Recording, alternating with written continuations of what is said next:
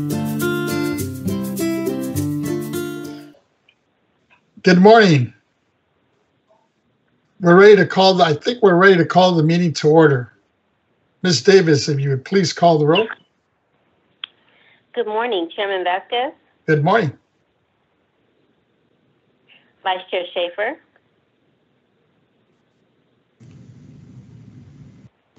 This is uh, Vice Chair Schaefer. Vice Chair Schaefer, present. Good morning, Member Gaines, Present. Member Cohen, Here, present. Deputy Controller Stowers,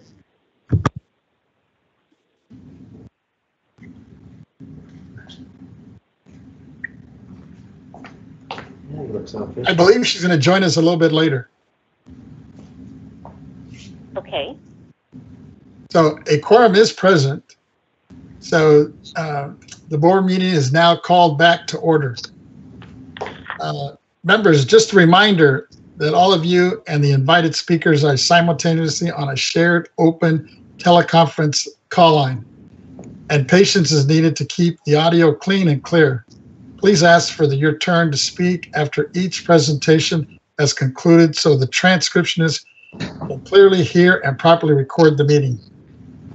Ms. Davis, please announce our first order of business. Will you look up?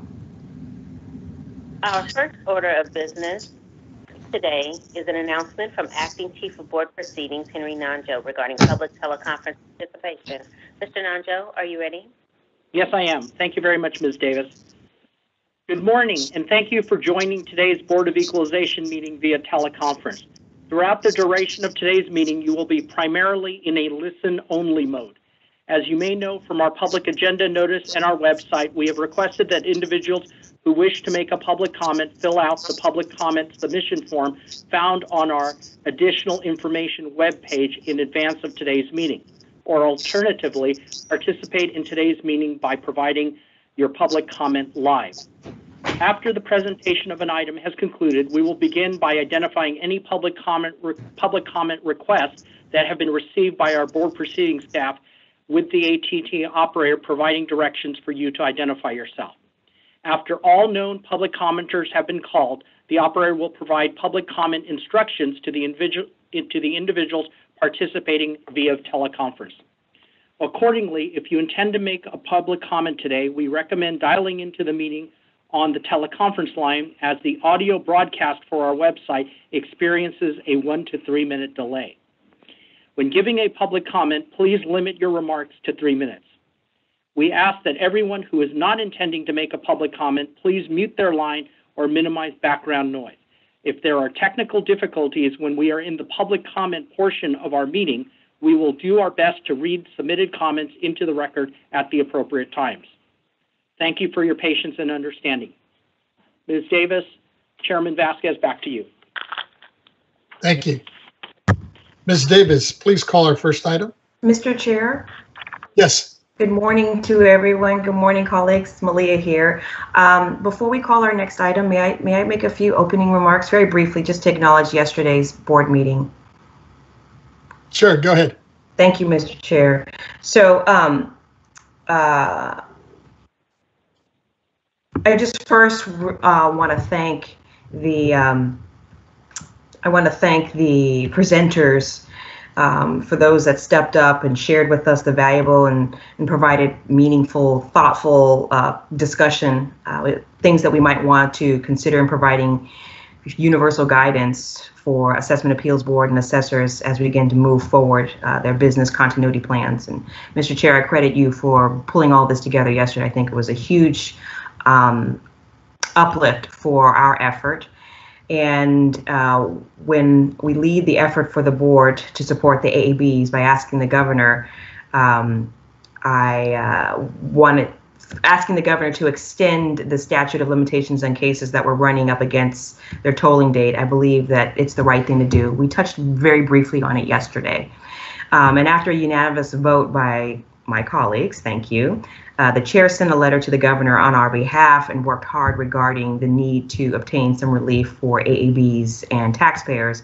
And I just want to acknowledge my staff and I were able to partner with you on that to make this process move forward smoothly. I would just want you to know that um, that the uh, that you that the chair had to work with the legislature and the governor's office to get this done. And many of our AABs, our assessors, and, and even Assessor Stone yesterday, they've expressed concern about the extension provided. You heard that in, in the commentary. Well, I just wanted to acknowledge that um, the initial executive order rep- represented what we were able to achieve at this time during this pandemic. Um, also, want to point out the huge lift that Brenda Fleming and her executive team also con- who they how they contributed greatly to making this uh, fruit, this um, a fruitful effort. However, I just want to just note that there's a little bit of concern about our business continuity plans that I want to flag for us, possibly if we can discuss uh, at some point today. Um, what I'm curious to know, like, what are steps we're taking uh, to ramp up and continue our work during the pandemic? I think the reality is that we're going to be sheltering in place certainly to the end of possibly as early as as, as the spring of 2021. Um, and the discussion yesterday was, um, and, and and and today will help us on journey, help us figure out this pathway. So, Chair, I want to just thank you and acknowledge and uplift your leadership on this work. I also want to just affirm that I'm here to help and um, lend my staff as well to any time, and also want to acknowledge the governor and his team, who may or may not be listening. I don't know, but they were also really significant in helping us pull this together. And then there's senior leadership within the legislature that were also helpful um, in getting the executive order done. So it was a full team effort. Uh, Senator um, Gaines, you know about how, how how all these entities and all these pieces all work together. And I just wanted to give a little bit of praise because it was a heavy lift and it was difficult, but our chair did it. And um, we are, I think, in a stronger place, and we were great advocates on behalf of our assessors. And I look forward as we go through in this meeting today to continue to move in that vein so that we have that, um, we are moving with that sense of urgency, but also being very helpful and also demonstrating our the critical position that we play in state government, which is not always on the forefront, but I think this has given us an opportunity to really step up. So thank you, Mr. Chair. Thank you for giving me an opportunity to just just express this. Um, thank you to the BOE staff, the executive staff, Brenda Fleming and her team. Incredible work, impeccable. That's it. Thank you. Thank you. And thank you to your staff as well. Uh, With that, Ms. Davis, if you can please call the first item. The first item on today's agenda is N1, public comments for items not on the agenda. We have received public comments that need to be read into the record. Mr. Henry Nanjo and Mr. and Ms. Lisa Renati will read the comments. Mr. Nanjo and Ms. Renati, are you available and ready? Yes, we are, and Ms. Renati is going to read the first two comments. Ms. Renati, are you available? I'm sorry. Um, the comment, just a second, I'm having a technical problem. Not a problem.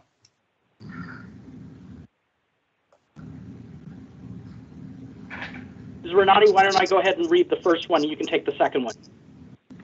Henry, please proceed. Okay? Um, first comment is, quote, "The assessor, Larry Stone, is purposefully sabotaging the work of employees in the office of the assessor and in essence holding the county- county hostage." At the 8/18/2020 Assessment Appeals Board meeting, Greg Monteverde, Assistant Assessor, read a statement saying that the CEO rejected the assessor's plan to bring staff back into Leah the office. just dropped her mouth.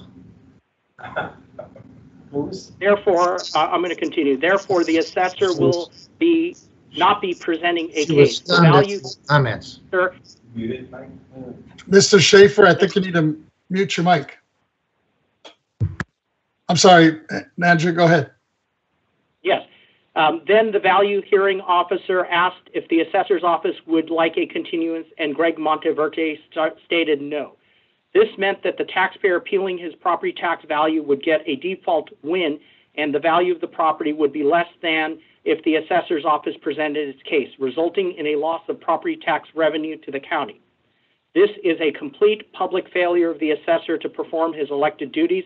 Due to the dereliction of duty of Larry Stone, I urge this board to immediately make assessment appeal board hearings held via teleconference and canceled until this can be arranged. This should, the board should also investigate the fitness for duty of Larry Stone. I'll, I'll go ahead and read the next public comment as well. Uh, the next public comment states, quote, um, Honorable board members, I wish to alert you about an alarming situation unfolding, excuse me, unfolding at the assessor's office in Santa Clara County, where I work as an appraiser. Ever since our county implemented a shelter-in-place order in mid-March, our office of 250 employees has largely been working from home. Certain essential functions were still performed in the office, and those who preferred to come in were still allowed to, but most of the work was being done at home. Under these extraordinary circumstances, we managed to close the assessment roll of $551 billion. In many cases, we found ourselves more productive completing more assessment activities than during the same time period the year before. For real property assessments alone, we completed 99.63% of all activities, a new record in our office. But late last month, we were made aware of a plan by our assessor, Larry Stone, to bring all teleworking employees back into the office on a rotational basis. The plan, which he developed unilaterally without input from staff, would have placed as many as 25 employees on one floor of the office at a time. All this while Santa Clara reports around 200 new cases of COVID-19 per day. And most public and private organizations are still largely teleworking, friend, including other departments in Santa Clara County and other assessor offices in large counties throughout the state, close print. Thankfully, after over 150 members of our office raised objections, the assessor's reckless plan was rejected by the county executive. However, the assessor was so incensed by the county executive's decision that he resorted to the nuclear option and closed the offices to all employees except senior managers. Consequently, some essential functions that we depend on will not be able to be performed. Roll corrections can't be made because nobody can mail the notices.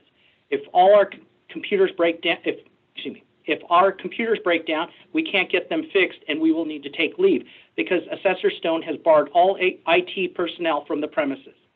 Assessment appeals cannot be defended because we're not allowed to be present at hearings, resulting in an automatic win for applicants. In short, because Assessor Stone did not get his way, his new strategy is to intentionally impede his own employees' workflow so that he can turn around and tell the public that teleworking has a detrimental impact on the assessment roll production.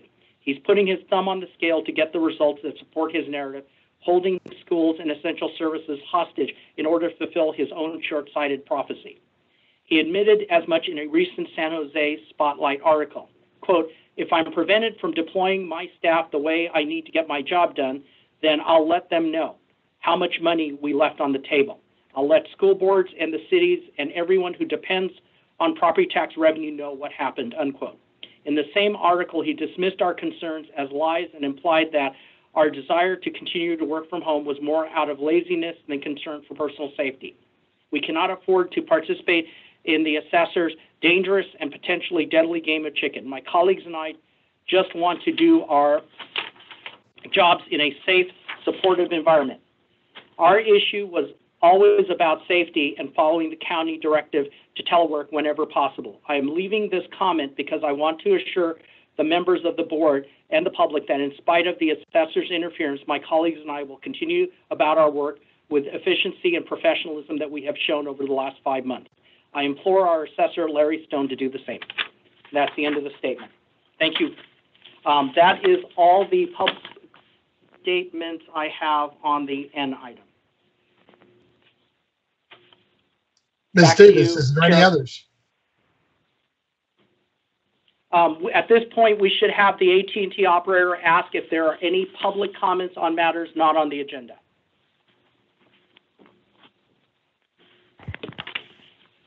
And ladies and gentlemen, if you'd like to provide a public comment, please press 1 then 0 on your touch-tone keypad, and an operator will provide you with a line number. Once again, if you'd like to provide a public comment, please press 1 then 0 at this time.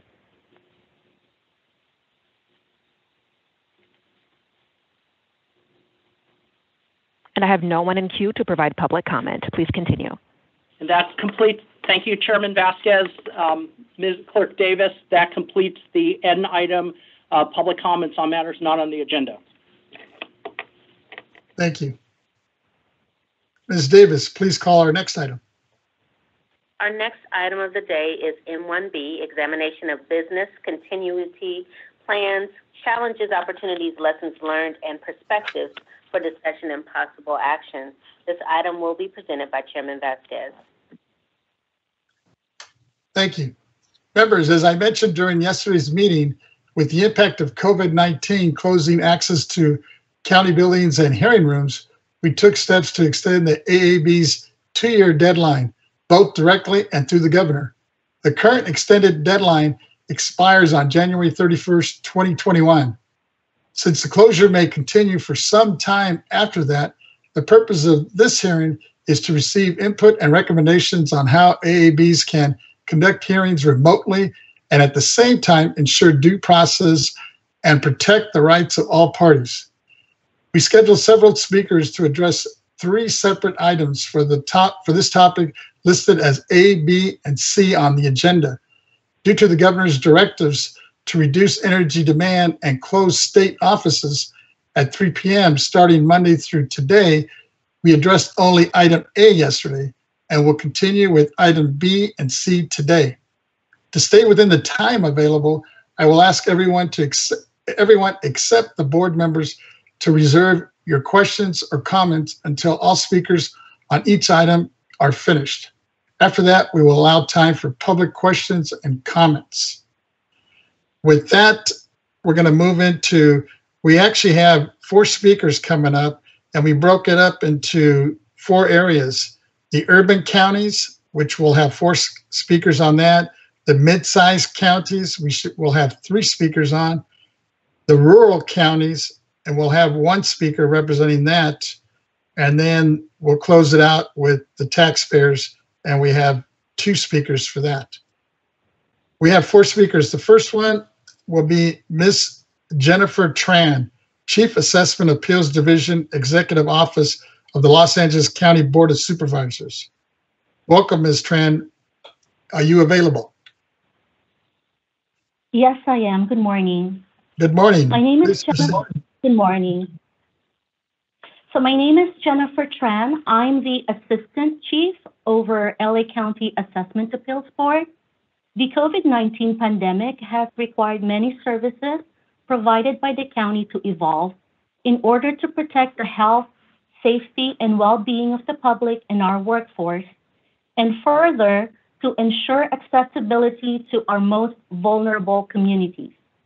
As one of our the most diverse and populous jurisdictions in the nation, the volume of our AAB applications, by comparison, exceeds all other jurisdictions within the state of California. Based on a two-year average, we received nearly 18,000 applications with approximately 23,000 parcels annually. During 2019 filing year, LA County scheduled nearly 39,000 applications for board and hearing officer hearings.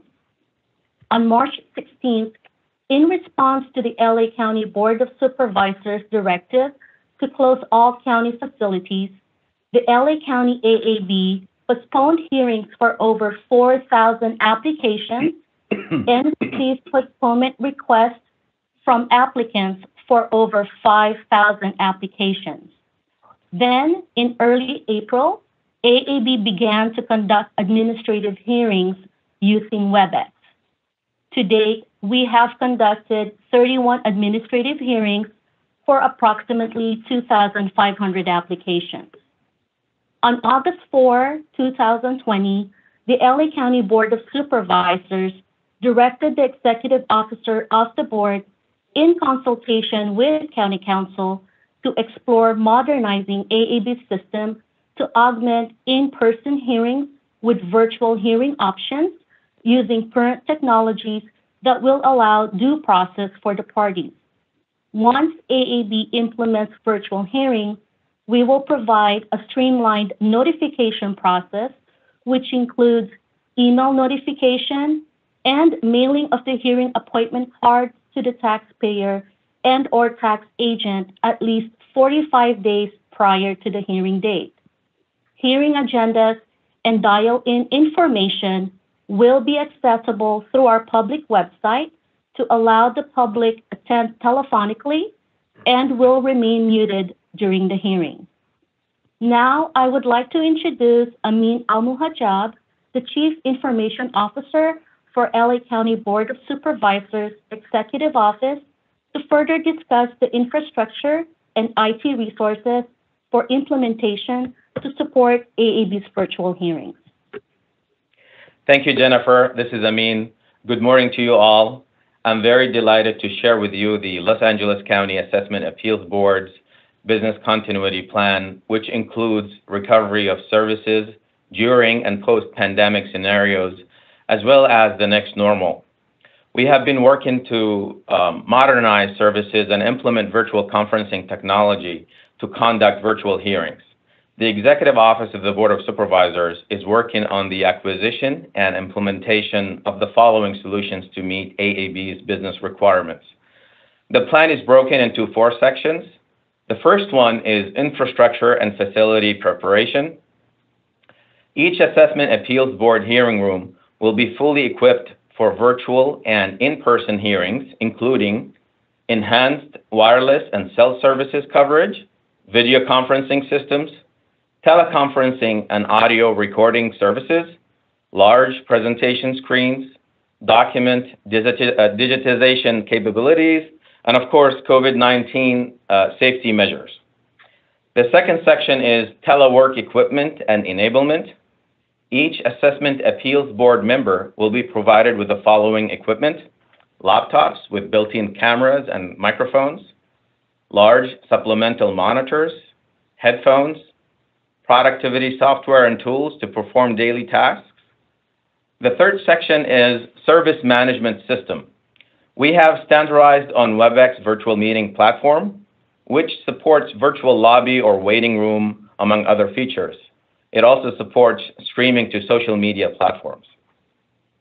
We are also developing an online evidence submission portal, which integrates with our case management and document sharing systems. The fourth section we refer to as the service operation expectation. This includes full video and audio remote conferencing capabilities along with visual presentation. We are developing training materials, operational support mechanisms, procedures, and easy to follow how-to infographic instructions. Constituents can join virtual meetings using smart devices remotely. However, constituents without smart devices can visit a designated area at AAB to join the virtual meeting.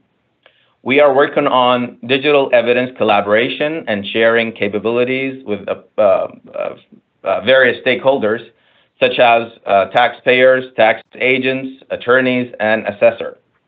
We are streamlining identity and service access management our future approach is to encourage virtual meetings to minimize physical presence to ensure the safety of our workforce, customers, and the public. The goal is to maximize the use of emergent technologies to deliver efficient services. This concludes the update. Thank you.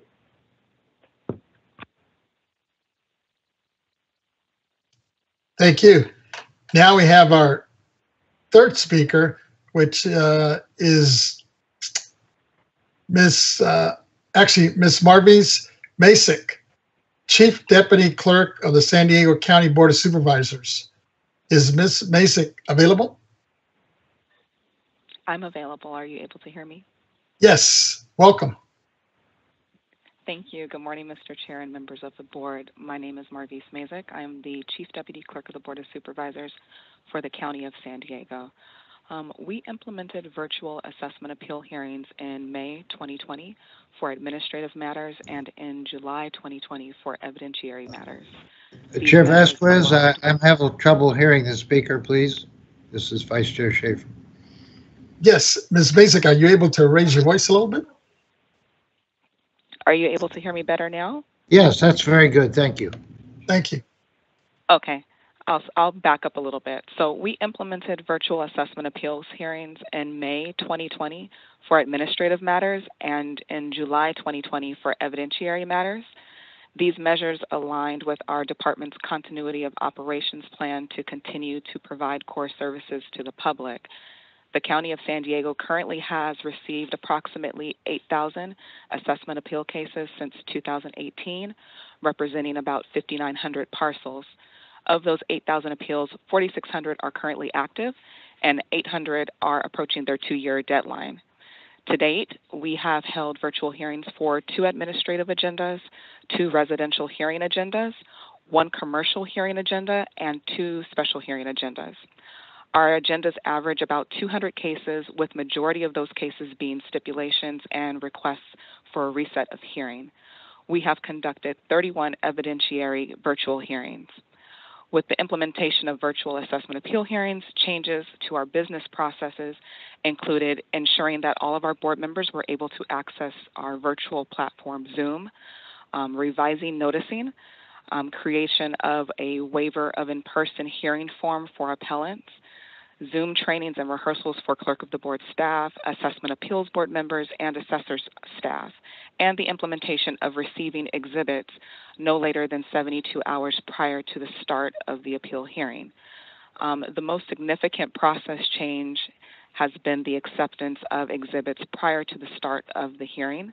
Our staff receive the exhibits electronically and by mail and distribute them to all parties, which include board members, assessors, staff, and the appellant within 24 hours of the hearing.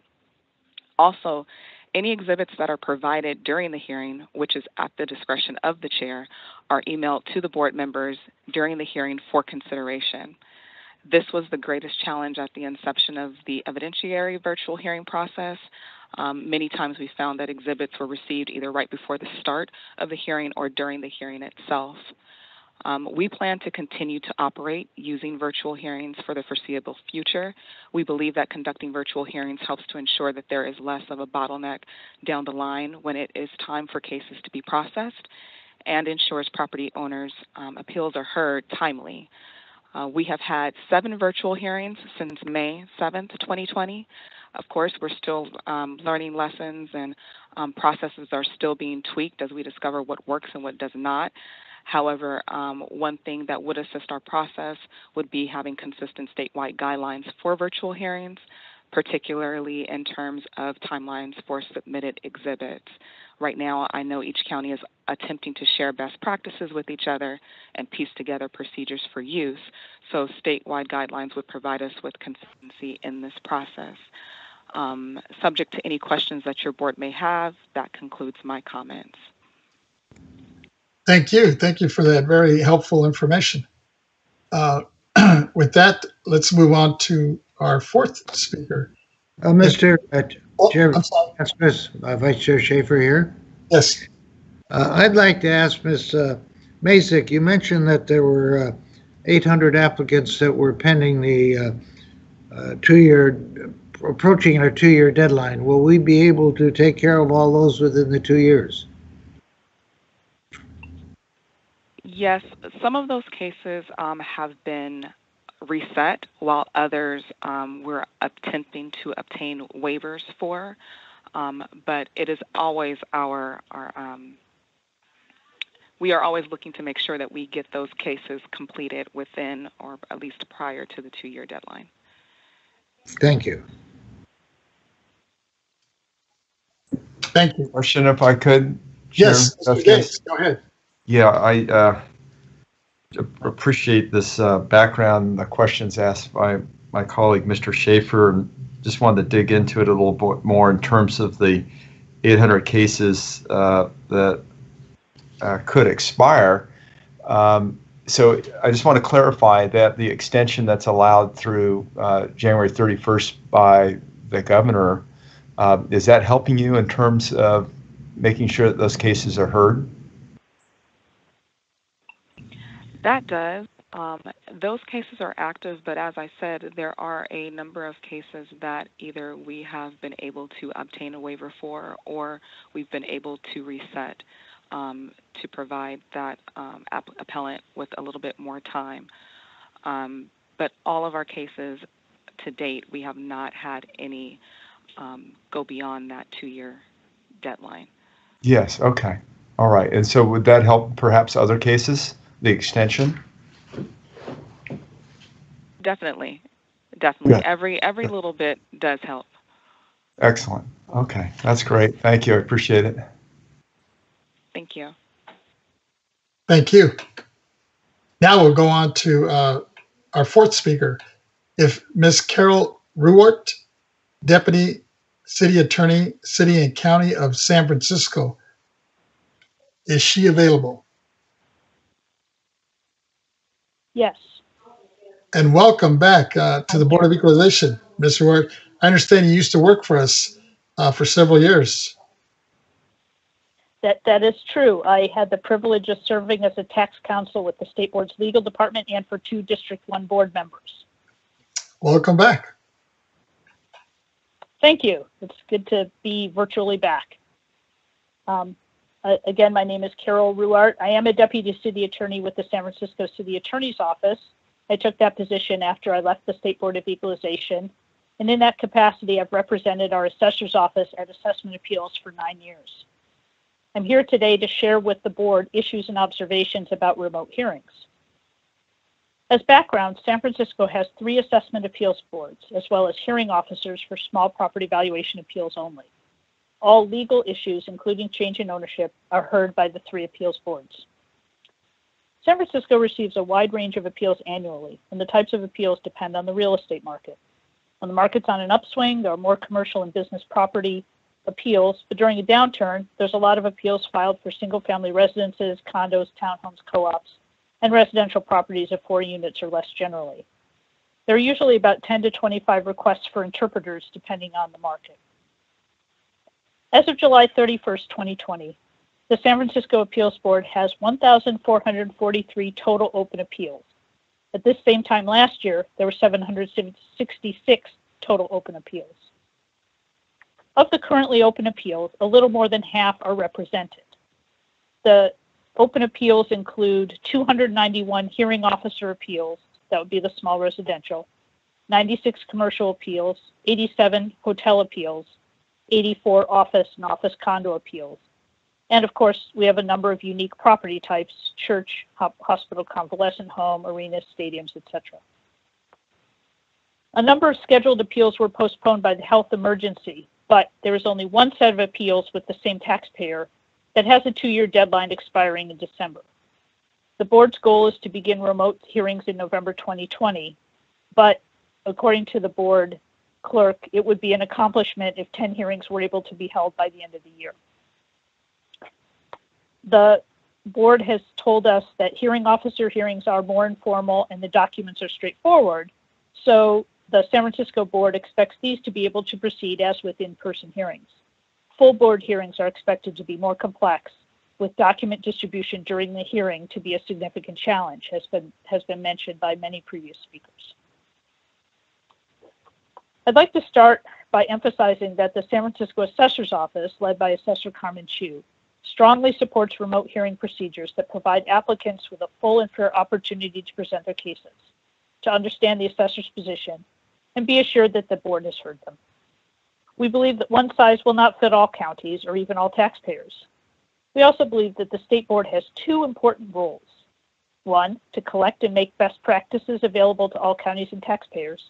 And two, to take legal, regulatory, and advisory action to ensure the following items appropriate uniformity among the counties, to ensure there's as much similarity as possible between in person and remote hearings, and that counties are protected from litigation over how remote hearings are held.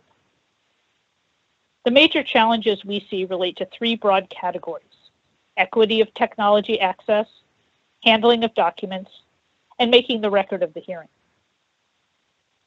In terms of equity of technology access, I heard that previous comments were made about the need for hearing procedures to be flexible as we navigate these new methods, and we certainly agree. But we also believe that county boards should err on the side of providing more information on the actual process. Do not assume that individual taxpayers know about the technology or assessment appeal hearings generally. There should be clear step by step directions for every step of the hearing including the waiting room, the opening of the hearing, the swearing in, the order of appearances, the portions of hearings not open to the public, the use of the translators, and the conclusion of the hearing. We believe the State Board can help all counties by compiling county, county procedures and recommending best practices. One example of a technology access issue is where a taxpayer would appear by audio only. A county board might not have the same ability as at an in-person hearing to assess credibility. Communication may not be as clear. This could raise due process issues that a self-represented taxpayer would not even be aware of. But even if taxpayers are required to appear by video, then different equity issues arise. Does the taxpayer have a strong internet connection and a quiet space? If they're using a cell phone, do they have sufficient data in their package? Can a county provide facilities for applicants to use for their hearings? What issues does that raise? These have been raised by a number of speakers, and we concur. One issue that we think is important is that the parties themselves to a hearing need to be able to confer amongst themselves confidentially. We sometimes call these sidebars. This is important sometimes to maintain attorney client privilege. Sometimes a principal appraiser needs to support a staff appraiser, or a representative needs to talk to their taxpayer. This is an essential characteristic of in person hearings that should be provided for remote hearings as well. We also believe that clear procedures for addressing connection problems are vital. For example, a best practice would be to have a dedicated phone or text number direct to the board clerk that does not rely on an inter internet connection. We believe that it would be very helpful for the state board to be a clearinghouse for county remote hearing procedures. For example, a best practice could be that every county board has a web page indicator of their in-person and remote hearing practices. But the state board could post a list of these links just as it provides all county assessor information. In terms of handling documents, we agree with previous speakers that this is a significant challenge. Unlike trial courts with discovery, the legal framework for AAB hearings does not contemplate complete pre-hearing document sharing between the parties. For example, in in-person hearings, each party determines which documents are submitted into evidence as the hearing progresses. I've heard many taxpayer representatives say that making their case on their terms is an important element of due process for them. Our assessor believes that this should be available in remote hearings as well. Also, the legal framework and in-person hearing practice as it has evolved also contemplates that each party may provide additional documents in, resp in response to points raised. This was the rebuttal document um, issue that was raised yesterday. We believe this should be accommodated in remote hearings to minimize continuances. The ability to submit additional new documents during the hearing is especially important for self-represented taxpayers. They bring folders of odd-sized materials to the hearing. They may not know which ones to submit in advance. It's also important in complex appeals where a new point may be raised that could be addressed with additional documentation. But if this is not allowed or is easy, then the parties might overload their pre-hearing submissions packets with anything they could possibly want to use, or there could be multiple continuances. Assuming the evidence is not distributed in advance to the parties, distribution by email during the hearing could be difficult for board members and parties. Reviewing significant documents and participating in the hearing on only one screen would be even more difficult for a party participating by cell phone. We think this would raise equity issues for many individual taxpayers. And county boards would need to establish clear criteria for the size and format of documents that are within the limits of individual taxpayer email accounts and hardware. We also see a legal issue. Will taxpayers be able to obtain the assessor's documents after they are submitted to a county board in advance of the hearing under Section 408 of the Revenue and Taxation Code? Would the assessor be able to obtain the taxpayer's documents as well? We believe the state board should address this uniformly for all counties via rule or legislation. With respect to making the record of the hearing, Revenue and Taxation Code Section 1611 requ requires the county board to record, report, or videotape each hearing, while Rule 312 requires the county board to make available to any person for purchase an audio recording or transcript. Given this legal framework, what is the official record of the hearing and what is provided for the purchase? Some issues we see are these. At an in-person hearing in San Francisco, voices are recorded, but generally not images. Also, while the hearing is open to the public, only the public that is in the room can view the proceedings. Should a taxpayer, assessor, or board member be able to refuse to be visible for a remote hearing? And are there issues with respect to archiving of those hearing tapes? in an in-person hearing, sidebar chats can be made off record. We strongly believe this capability should extend to remote hearings, as mentioned before. Even if a hearing is held on video, should the record available for purchase remain audio or transcript as provided in Rule 312? We urge the board, the state board to address these issues at a statewide level to ensure that all counties treat the same kinds of recordings similarly and are protected from litigation that could invalidate the results of remote hearings. In conclusion, San Francisco strongly supports remote hearings. We urge the State Board to take legislative, regulatory, and advisory action to ensure consistency among the counties and certainty for taxpayers.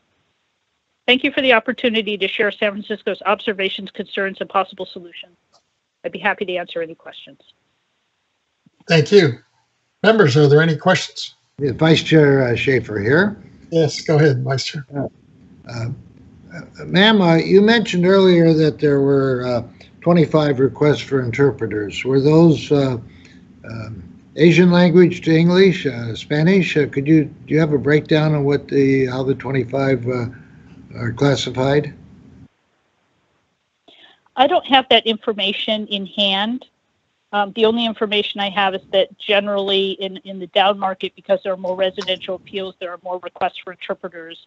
I personally have observed at least three to four different uh, primary languages um, brought in by taxpayers, um, but I'm sure that there are more.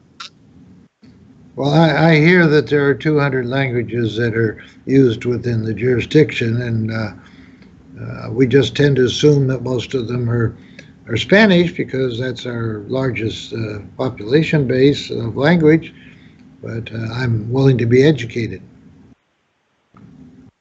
I have personally observed most of the, the taxpayers I have observed, and granted, I do not go to even close to most of the hearings um, as assessors counsel, um, but I have uh, most frequently observed Asian languages as the primary taxpayer um, language that requests interpretation or uses interpretation. And and that includes not just requesting it of the board, but perhaps they bring a family member who assists in the process. Okay, thank you. Yeah, question if I could, Chair Vazquez, this is yes, um, Gaines. And I'm just wondering if uh, the participants uh, from LA, San Diego, and San Francisco could uh, speak a little bit about the uh, backlog prior to the pandemic and now. I, I think um, Ms. Ruart um, has already brought that up. I think it was 1443 for 2020 versus 766, if I understood correctly. But either expand on that, and if I could hear from the other two counties, that would be helpful. Are they available? I've given you all the information. I, I this is Carol Ruart from San Francisco. I've given you all yeah. the information that I happen to have on that. Okay. Very well, thank you. Good. And then can we hear from uh, San Diego and LA County too? Hello, this is Jennifer from LA County. As of yesterday, our backlog, we have about 9,800 open applications with 15,368 parcels. Okay. And do you know what that was prior to the pandemic or last year? I don't have the information or the data with me at hand, but I can always provide that afterwards. Yeah, that'd be helpful if you wouldn't mind. It, and I'm assuming it's gone up dramatically. Is that a, an accurate assumption? Yes, it did. Yes, it did. Okay, very well. Thank you. And then um, how about San Diego? San Diego, is same. The current active cases are about 4,600 that we have. Okay. And do you know what it was last year? The number of cases last year were about a little over 4,000 that we received last year. Yeah, okay. All right. All right, good. Excellent. And um, to the other, to both San Diego and LA, uh, to what degree has the executive order provided relief of those cases?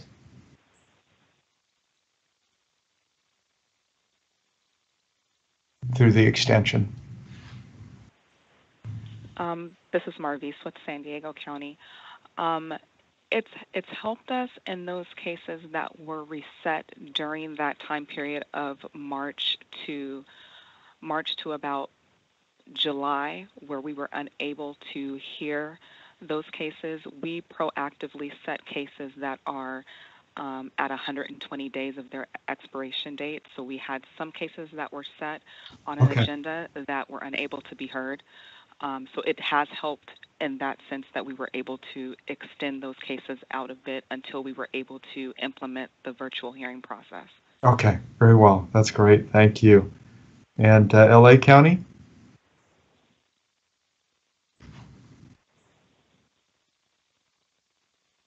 This is I'm Thomas sorry, can- Parker from, go ahead, Jennifer. I'm sorry, I was going to ask if you could please repeat the question. Yeah, I was just uh, trying to get clarity on how much help uh, the executive order from the governor has helped. And um, it, you know, when uh, we heard from Ms. uh, Mazyck uh, with San, San Diego, deputy clerk from San Diego, she indicated that it was helping for cases within that time frame. And uh, so I'm just trying to figure out how effective is the executive order in terms of the um, the extension of time and uh, this, how that's impacting each of the counties.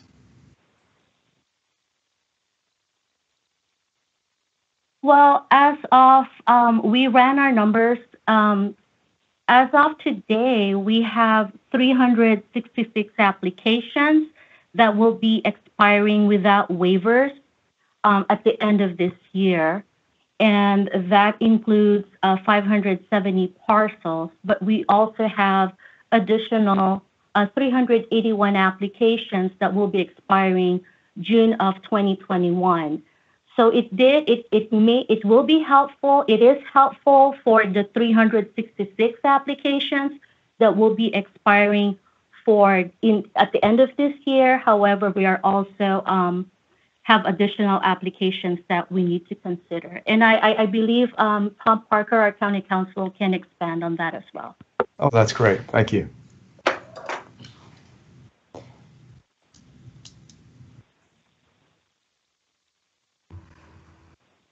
Uh, Chair Vazquez, uh, Chair, Vice Chair Schaefer here.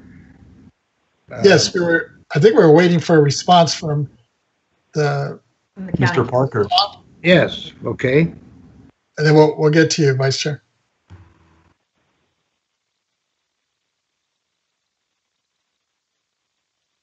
Mr. Parker there? Okay, as we wait for Mr. Parker, um, Mr. Gaines, I just want to point out that the executive order, like all executive orders, um, address the immediate need. Um, the governors continue to provide additional relief as needed. Yes, yeah, and that's, that was my understanding. I'm just, just trying to get a, a sense of um, how it's impacting the counties. And uh, it sounds like it's working. I, my impression is that uh, we don't have cases that are uh, expiring and not being heard. And, True. uh, Yeah, and it was my understanding that we would be in communication with the administration uh, in the event that an extension is, is needed beyond January 31st. So. Yeah, uh, actually, that's why this conversation is really helpful. I ho- hope county counsel is available. Is he there? Is he there? Mr. Doesn't sound like it. We might have lost. Well, that's that's helpful. Um, I, I appreciate the opportunity to ask those questions. It's a lot clearer in my mind. Thanks. I think what we're focusing on now is our plans to continue, right? We're trying to build an argument like, thank you for the executive order, but now we, we actually need to continue and hear the reasons why. So we have um, compelling arguments to, to go before the governor, to go before the legislator, um, and, and, you know, so that's where we are. Thank you, Mr. Chair. I think Mr. Schaefer wants to speak now. Yes. Vice Chair? Yes, uh, Vice Chair Schaefer here. Uh, I had a question for uh, Chief Deputy Clerk um, Isaac in San Diego. Uh, There was a reference to 25 requests for interpreters in San Francisco, which uh, several were Asian language. Uh, uh, do we have a request for interpreters on our hearings in, uh, I mean, in San Francisco? In San Diego, do we have some uh, requests for interpreters generally? And do we have any Asian or is it generally Spanish to English? Vice Chair, um, at this time, I am not aware of any requests for interpreter services. If there were a request, we would uh, have them available, just like they are readily available every day in the courthouses. If there were requests, we would work with our um, purchasing and contracting department to obtain um, whatever the county or whoever the county um, contracted vendor is for that service. Yes. And they have to give us a certain advance notice, don't they? Like a day or so? Yes, they would need to give us advance notice of the hearing. Okay, I have no further questions. the Thank you. Thank you, uh, Chair. Thank you. With that, uh, Mr. Chair? whoops, go ahead. Mr. Chair, I believe that um, we've got Assessor Prang on the phone, and uh, I'd like to ask him to uh, address the letter that he emailed to us yesterday. If he could address that uh, just on the record and walk us through. Is Mr. Prang on the line?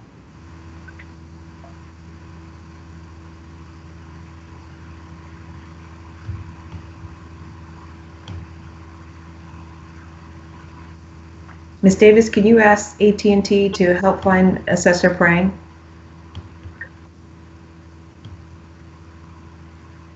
Yes, AT&T operator, are you available to check to see if Assessor Prang has dialed in as a host? Or anyone from Yes, his I'll- office? Certainly. And, uh, sir, if you're on the line or anyone from your office, please press one then zero or open up your line so you can speak. Okay, so Assessor Prang his, uh, is on the line. We just need to find him. Uh, Can you hear me now? Oh, yeah, there Yes, you yeah, are. there we go. You're- He was probably muted. All right. I, I was I was listening, but uh, and I unmuted, but uh, this is uh, technology doesn't always uh, like me. Um, Not a problem. Go ahead. yes, So l- just to uh, give you a little bit about the genesis of that letter, so it We're losing you. Include some other speakers, including myself, and I think things were changed. Um, I had prepared some testimony um, that I wanted to submit um, for your consideration, and we didn't want to have to uh, slow you down with having to have it read under under public comment. So I submitted it as a letter just to let you know with the thinking of the LA County Assessor's Office as it relo- relates to uh, remote hearings, something we are uh, uh, deeply committed to and eager to uh, proceed with, uh, at least from our uh, from our vantage point in LA County. The um, we're concerned um, not only um, based on the, the current uh, uh, environment in the in the uh, with with with COVID-19 and our desire to keep not only our employees but members of the public um, safe, but also operationally I believe there is an incredible opportunity for my agency to uh, uh, enact uh, multiple efficiencies, which could save, from our estimation, millions of dollars in, in personnel personnel hours and other uh, related costs, and provide additional convenience to taxpayers by helping us to uh, expedite the uh, processing of, a, of, of appeals. LA County has, uh, you know, obviously based on our size, has uh, uh, dramatically uh, different levels of uh, of appeals waiting to be processed. I think that number from from our perspective is somewhere between 25,000 and 30,000 appeals. We might not been hearing them for several months, um, but even pre-COVID, we were I was I've been very concerned about the number of of appeals and our ability to process them in an expedient uh, manner. And I think that uh, remote hearings or even uh, on a more limited basis, the ability to allow uh, witnesses to testify remotely would be an incredible um, operational efficiency for my department that would have uh, quantifiable benefits. Thank you.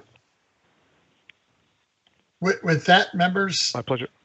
oh, no, thank you. We all did receive your letter as well. So we'll definitely take it up at the end as well. Thank you. With that, members, I, I wanted to move into our mid-sized counties, and we have three speakers on the challenges and opportunities of business continuity for these mid-sized counties. And we're going to start with our first speaker, which is Miss uh, Gonzalez, Deputy Clerk for Sonoma County Board of Supervisors. Is Ms. Gonzalez available? I am. Thank you, Chair and Board, for letting me speak today. My name is Kyrene Gonzalez. I am the Deputy Clerk for the Board of Supervisors of Sonoma County. Um, and uh, our, I guess I want to start by echoing many of the challenges that other speakers uh, have have stated regarding document production, face-to-face communications, um, the accessibility for uh, you know technological access to being able to participate in these. The demographics of Sonoma County is approximately 20% of a higher risk, um, which is above the state average. So technology may not always be the easiest uh, form for hearings. That being said, we began remote hearings in May. We've only held two. The first one was administrative only. Uh, the second one was uh, administrative with evidentiary um, uh, document production. We, since 2018, we've had approximately a thousand appeals, and we have approximately four to 500 active appeals uh, I think we only have at this time, uh, we only have two that will be expiring without waivers by the end of the year. That being said, most taxpayers in the area are um, quite compliant with being able to, with, with um, signing appeal waivers uh, for extensions of time. Uh, our business continuity plan has been to um, just not cease, to keep moving forward to hold the hearings. Uh, the challenges have been with those remote, remote hearings have been document production, getting the documentation and the evidence early. We've had to create smaller agendas. So instead of having, say, 100 administrative review, we're having maybe half that, 50 administrative review. Uh, so the agendas have had to be smaller. The length of time just to prep and prepare for these remote hearings. I am the only AAB clerk. Uh, so, and we only have one AAB. Um, we have three board members and two alternates. We are trying to schedule additional hearings um, throughout the month. We typically only have one per month. We are a mid-sized county. Um, the other challenges have been um, additional additional emergencies where right now Sonoma County is again in a state of emergency. We have fires burning all around us again um, as I speak. And so that's going to, uh, one, put more pressure on the assessor's office to reassess damaged properties, loss, and also going to put more pressure on uh, AAB and the clerk uh, for timing and getting uh, getting these appeals scheduled. Um, I have had some feedback from taxpayers regarding face-to-face communications, making sure that the taxpayers can actually see the board members as opposed to audio only. So we have changed that. We've made sure that any panelist, any participant has uh, can, has the ability to have video. Um, I am, as many of us are, I work from home, so my technology is um, a laptop with a camera. We I have two screens, um, and the hearings are being facilitated. Uh,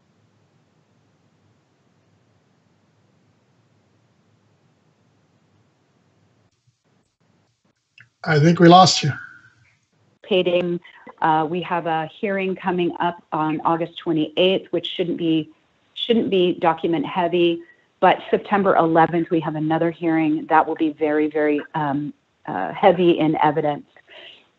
Getting the documentation early. What we've implemented is a cloud based system. So, taxpayers and assessors, um, I am asking, not requiring because I cannot, asking that documents be be sent to me the when we have our, our hearings on Fridays the Wednesday by five o'clock. So I have all day Thursday to gather the gather the information. I, all of that documentation and evidence is held until the morning of the hearing. At that time, then it is simultaneously sent to all parties, including including the board. So um, it does not prevent anyone from presenting additional evidence during the hearing itself. So um, we have not had to do any screen sharing, and we have we haven't had to deal with that yet. We uh, all all evidence has been sent to me ahead of time, which has been which has been great. Um, we some of the lessons that we've learned regarding the um, this continuity is that we need we definitely need very very clear, concise instructions and time for taxpayers to ask questions ahead of time and the assessor's office to ask questions ahead of time. Um, we need to we we we assumed we assumed incorrectly that everybody was uh, at least up to par with technology. That is not the case. Um, again, allowing video for participants.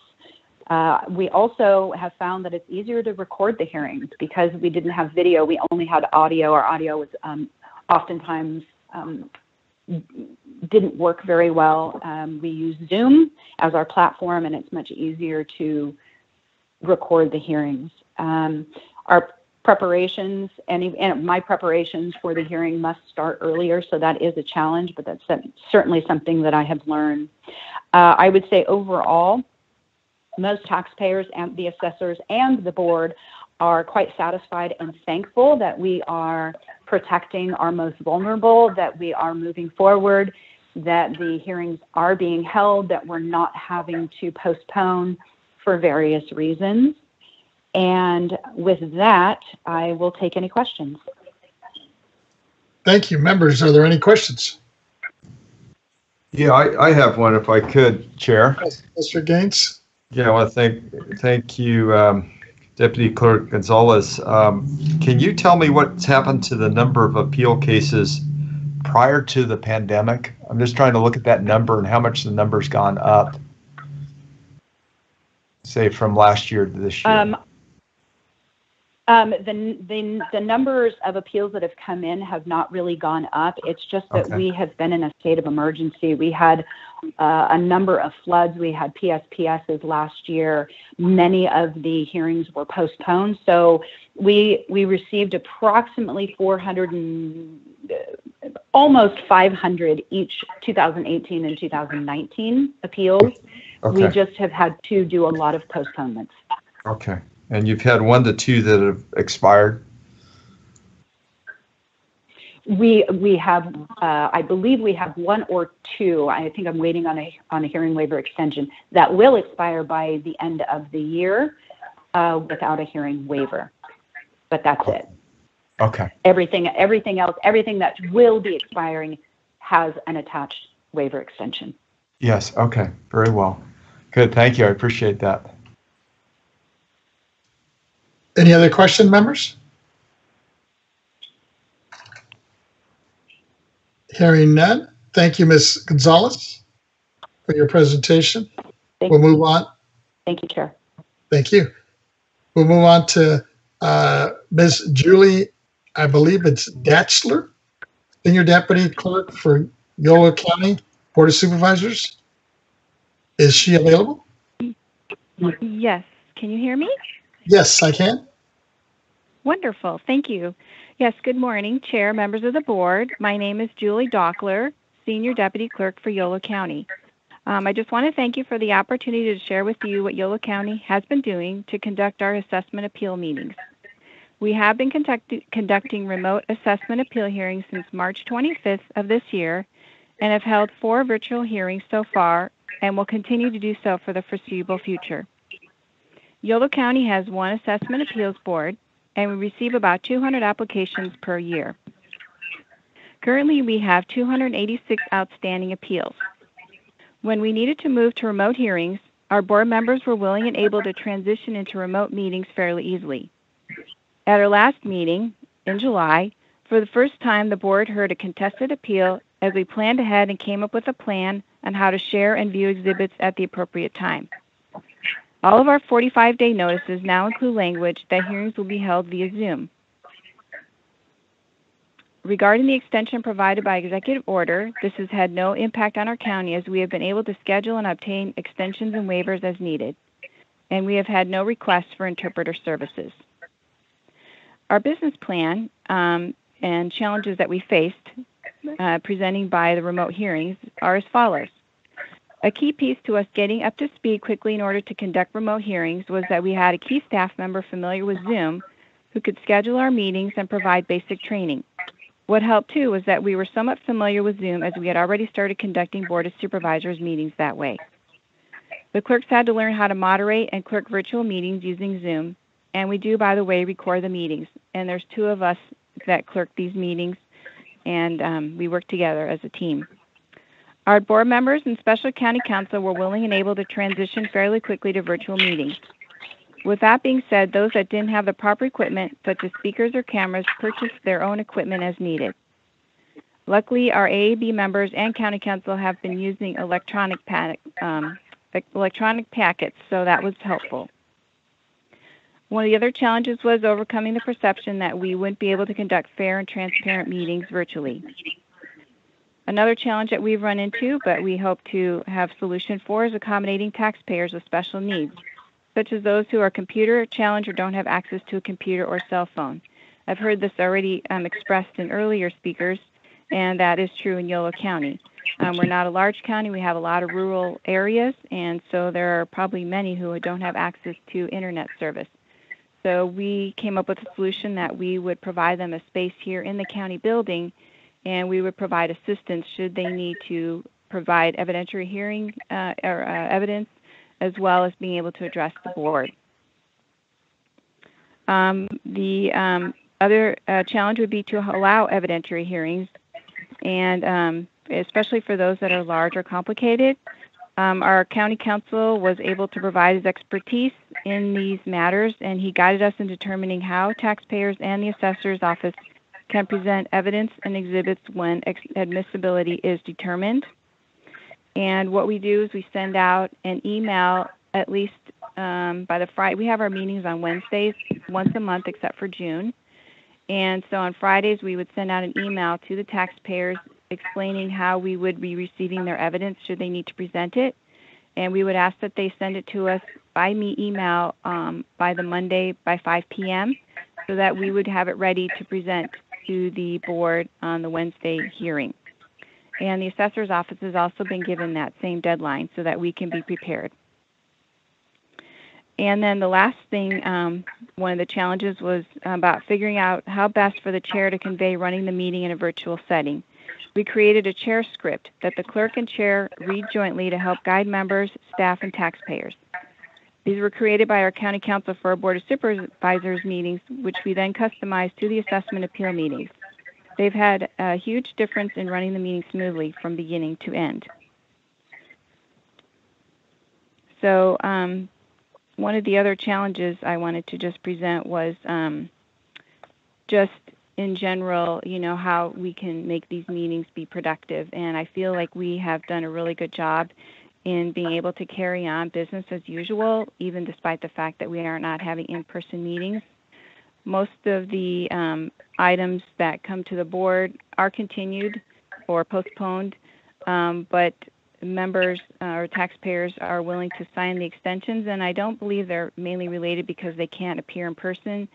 Usually, about half of our appeals that are scheduled for hearings are usually continued anyway, just because of timing. So um, I don't know if the COVID has impacted that at all, but we are just moving as for, uh, process as um, we have been doing, and um, we plan to continue our remote hearings. And um, anyway, I think that's all I wanted to make comments on at this time. And if you have any questions or any other things you'd like to ask, I'm available.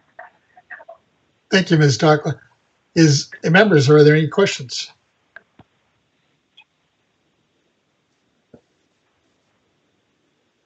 Hearing none, we'll move on. Uh, to our next speaker, we have the Honorable Shelley Scott, uh, Assessor, Recorder, County Clerk for Marin County. Is Shelley Scott available?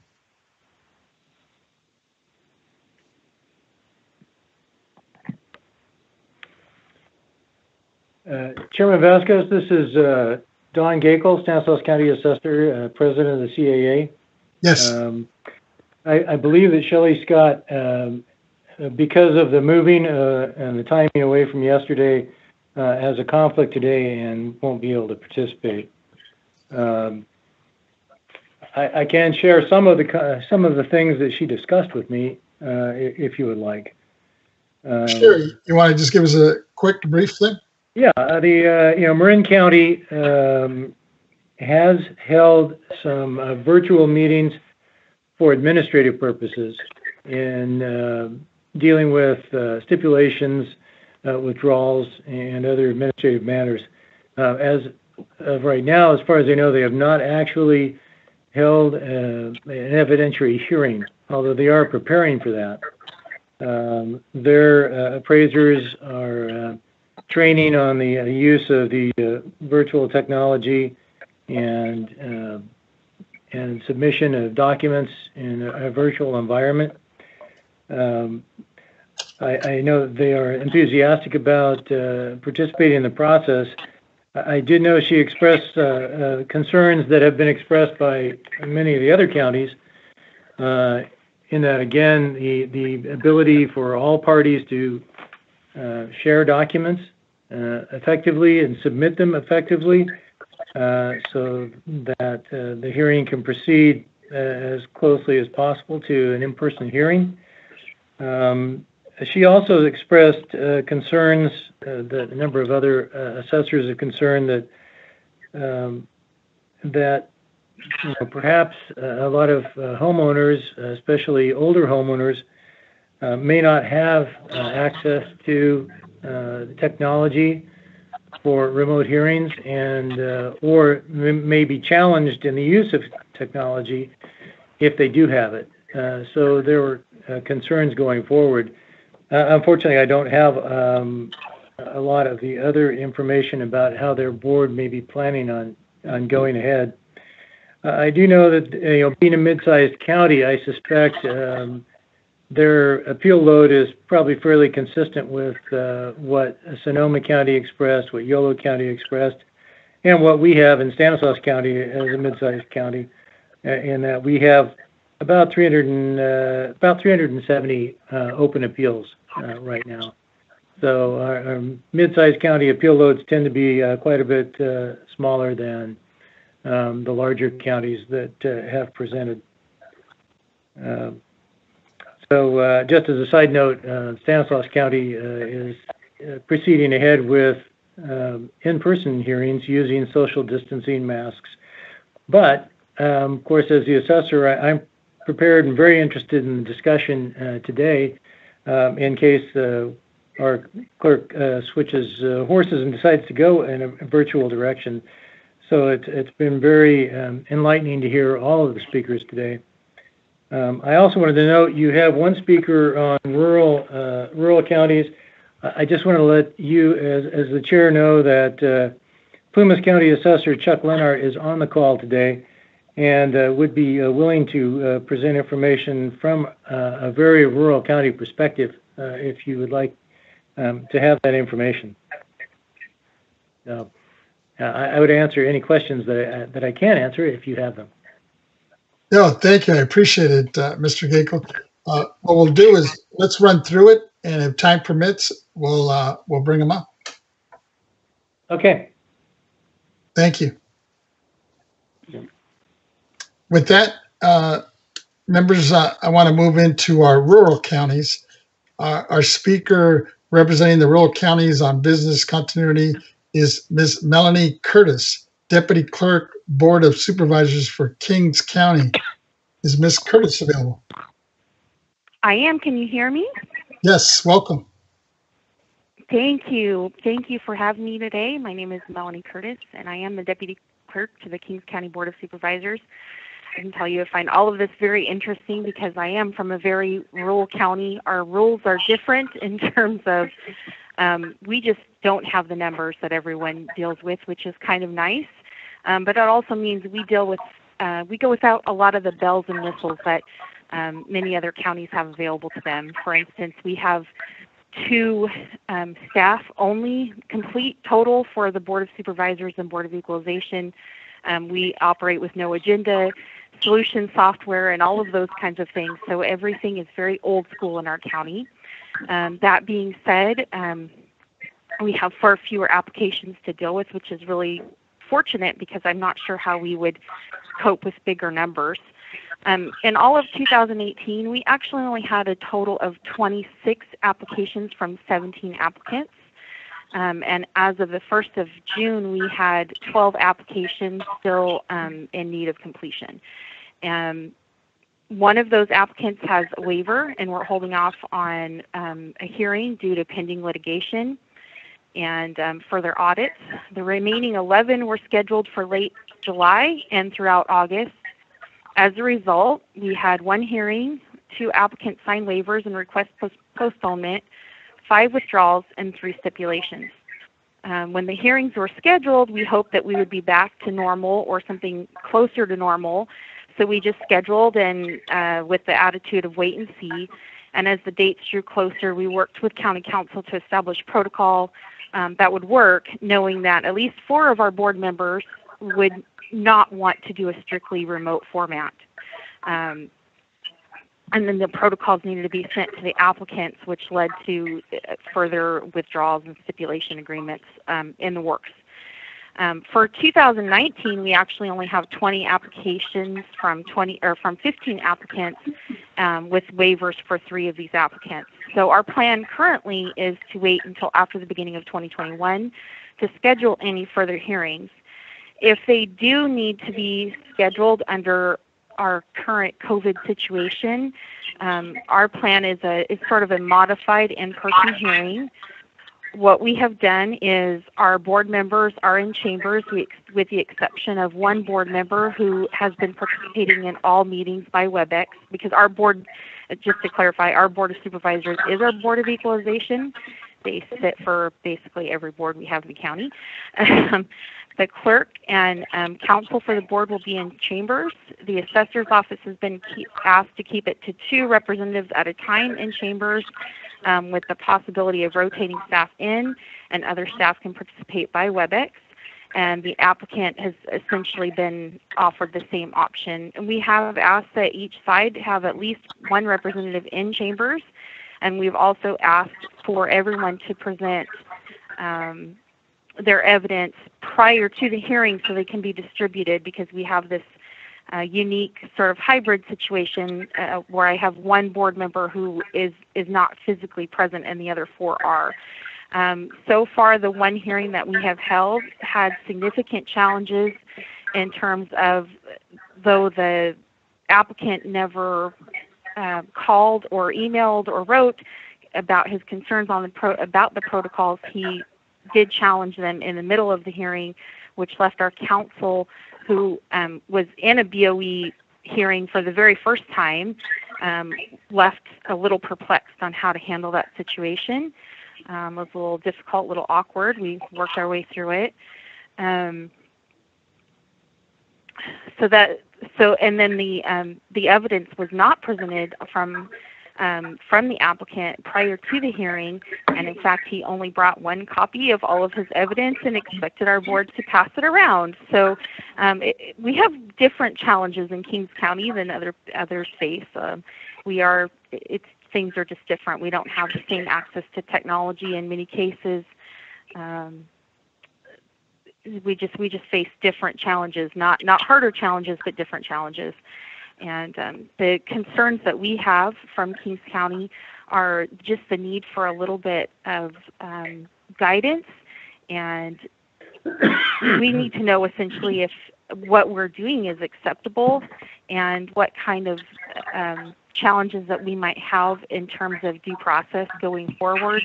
Uh, we, we really were very concerned about the reaction from the one applicant for the hearing that we have held so far. Um, we don't have any specific plans moving forward that are different from what we've done, but we are planning on waiting until at least 2021 to schedule any further hearings. I don't really have anything else at this time, but I'm certainly open to any questions. Thank you. Uh, members, do we have any questions for Ms. Curtis. I do, if I could, just, um, Yes, Go ahead, Member Gaines. I, I think it's very interesting, the uh, different responses uh, based on the diversity of our state, whether it's um, small, medium, or large. And part of my um, concern I have is that are we just, uh, is this just a precursor to um, a mass of appeals uh, next year? Uh, people wanting uh, their property revalued as a result of the pandemic.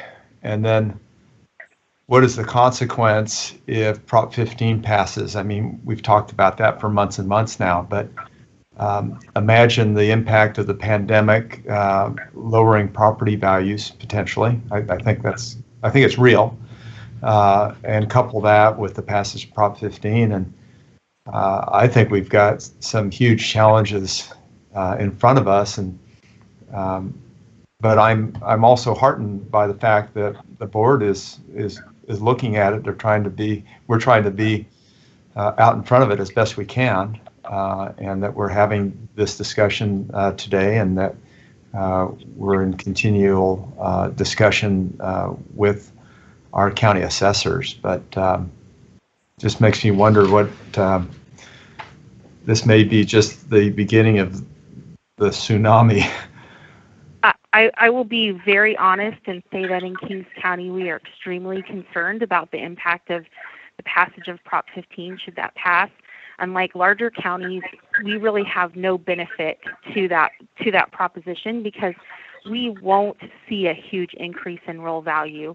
Um, our our property values just aren't that high in this county. We're small, we're rural. There's not a lot of up and down, um, and and so we're very concerned. And our assessor is planning for absolutely a tsunami of applications. And to be bluntly honest, Kings County has no way currently to deal with those, and particularly if we are doing remote hearings because they have been very challenging for us. I'm just not certain what our plan will be um, moving forward. And, and right now, unlike other counties, we don't even hold administrative type hearings. All hearings that we hold are evidentiary hearings, and, and beyond that, they just have meetings to accept withdrawals and stipulations. But our, our board currently does it all. And so not only will this impact us in terms of numbers, but it, it will completely change the way we do business um, as a board of supervisors and board of equalization. Yeah, thank you for your comments. Mr. Chair, this is Malia. Uh, may I speak? Yes, go ahead, Member Cohen. Thank you. Um, several thoughts I have here. Uh, first, um, I guess to all the presenters, one thing I'm, I'm hearing consistently is that it's not a one size fits all, right? What's hap- what what what would benefit LA County or the Silicon Valley or the Bay Area counties clearly won't benefit or help Kings County some of the rural counties. So I'm in no interest I have no interest in implementing or creating any kind of a policy or encouraging the governor to put an executive order out there that will wound any of our counties. So it sounds like we need to have uh, a very precise or use precision in our in our approach, a scalpel as opposed to a sledgehammer, in helping to address these prop these questions. To all um, to so Mr. Gaines, you've asked a series of questions I think that are very pertinent, and um, I we had an informational in San Jose, and I think that that was the one that you were unable to attend. I think you were traveling with your daughter at that time. This was last year and um, your questions are actually spot on.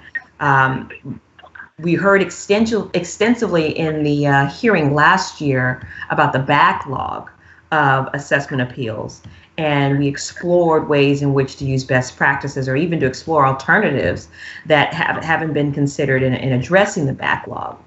And at the time, we also talked about the role, split role at that time, the initiative hadn't qualified for the ballot, so we're in a different place today in 2020. But it appears that remote hearings was not an option on the table at that time last year when we were initiating the conversation. And it may present a viable alternative if we're able to address um, um, the identified challenges while simultaneously protecting the taxpayers' due process. And first and foremost, keeping everyone's health and safety as our number one priority. I think that goes without saying, right? We all we're all on the same page on that once, whether we're talking about staff, whether we're talking about taxpayers, and everyone involved in the in this entire process. It's about safety first, but also these these conversations are helpful um, because although we scratched the surface last year, this year it's even more relevant, right? What technologies are available? So now uh, we're hearing from the uh, Kings County representative, um, and we're in the pandemic. Uh, I, am wondering if um, if you have any top three issues that you you you want us to assist you in in, in helping to solve.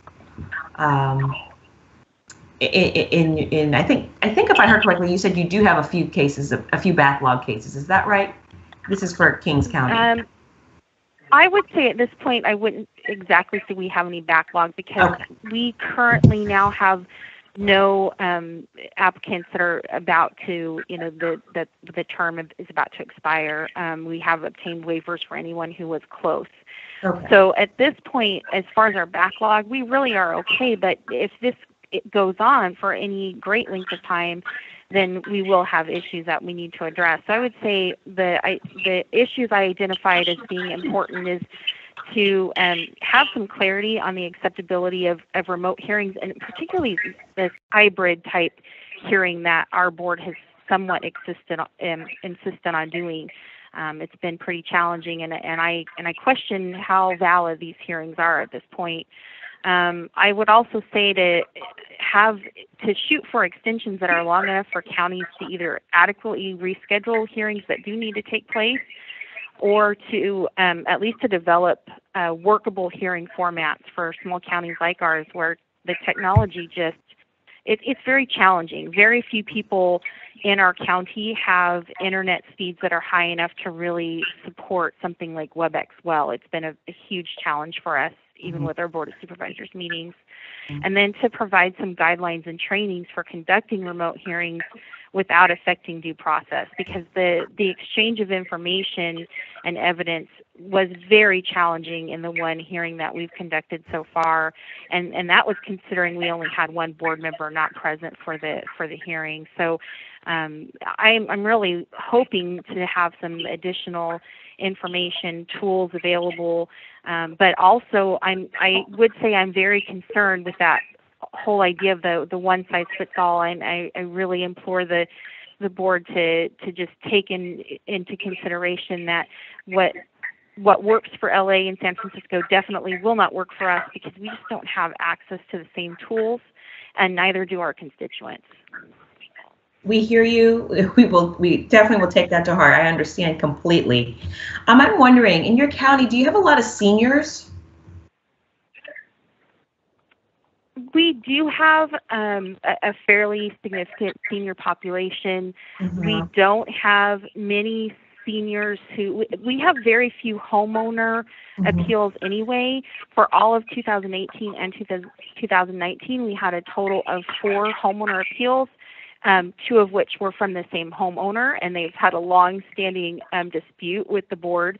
Um, they are all seniors, though, and um, so that that was a challenge. And and I was, we were all willing if he was um, unwilling um, or unable to come in person to a hearing to try to find a way to work with him. And of course, we gave we gave him the option of postponing until later in the year um, or signing a waiver and and just putting it out until this is over.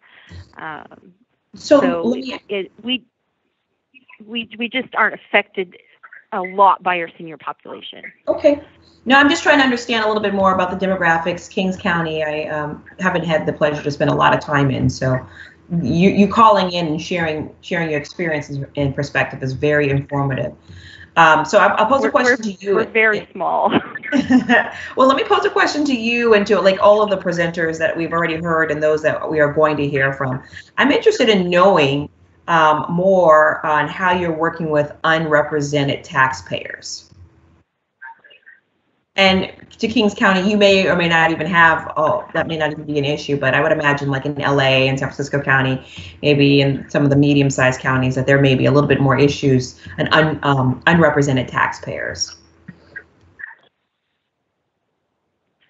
In the five and a half years I've been working in Kings County, we've only had one unrepresented taxpayer come into hearing, and um, he has represented himself quite well. Um, it, it really hasn't been a problem, so I, I can't speak to that very well. Okay, no problem. Thank you, Mr. Chair. I have no other questions. Thank you. Let's go on. Uh, Thank you, Ms. Curtis, as well. Let's go on with, we have two speakers now on the challenges and opportunities of the business continuity for taxpayers. We'll start with uh, Mr. Paul Waldman, CMI President, California Alliance of Taxpayer Advocates. Is Mr. Waldman available? Yes, I'm on. Welcome. Uh, Thank you. Um, So, good morning. Yes, I'm Paul Waldman of CADA, uh, 60 years from advocate. Um, First, uh, Chairman Vazquez and members of the board, you for holding this important hearing yesterday and today. Uh, We believe that need to be thoroughly explored to be sure that taxpayers' rights and due process. Uh, Chair I feel a lot of Vazquez, he important appears to be breaking up. I'm having trouble Yeah. hearing. Mr. Waldman? I don't know if you're I'm able sorry, to uh, adjust your connection because you're kind of breaking up. I apologize. Is that better? It sounds a little Hello, better. can you hear me? Yes, go ahead.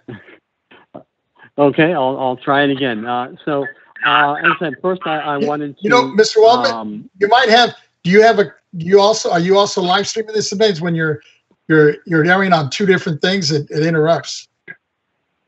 no, I'm, I'm not live streaming, but I am hearing an echo. Um, Somebody needs to mute then. uh, yeah, I wonder if that, if someone's not muted.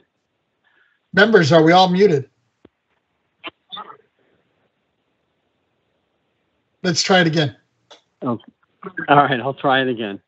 Um, so again, I just wanted to uh, uh, thank you for holding this uh, this hearing yesterday and today. Uh, uh, this really is important uh, that taxpayers' rights don't get um, short-circuited in the remote hearing process.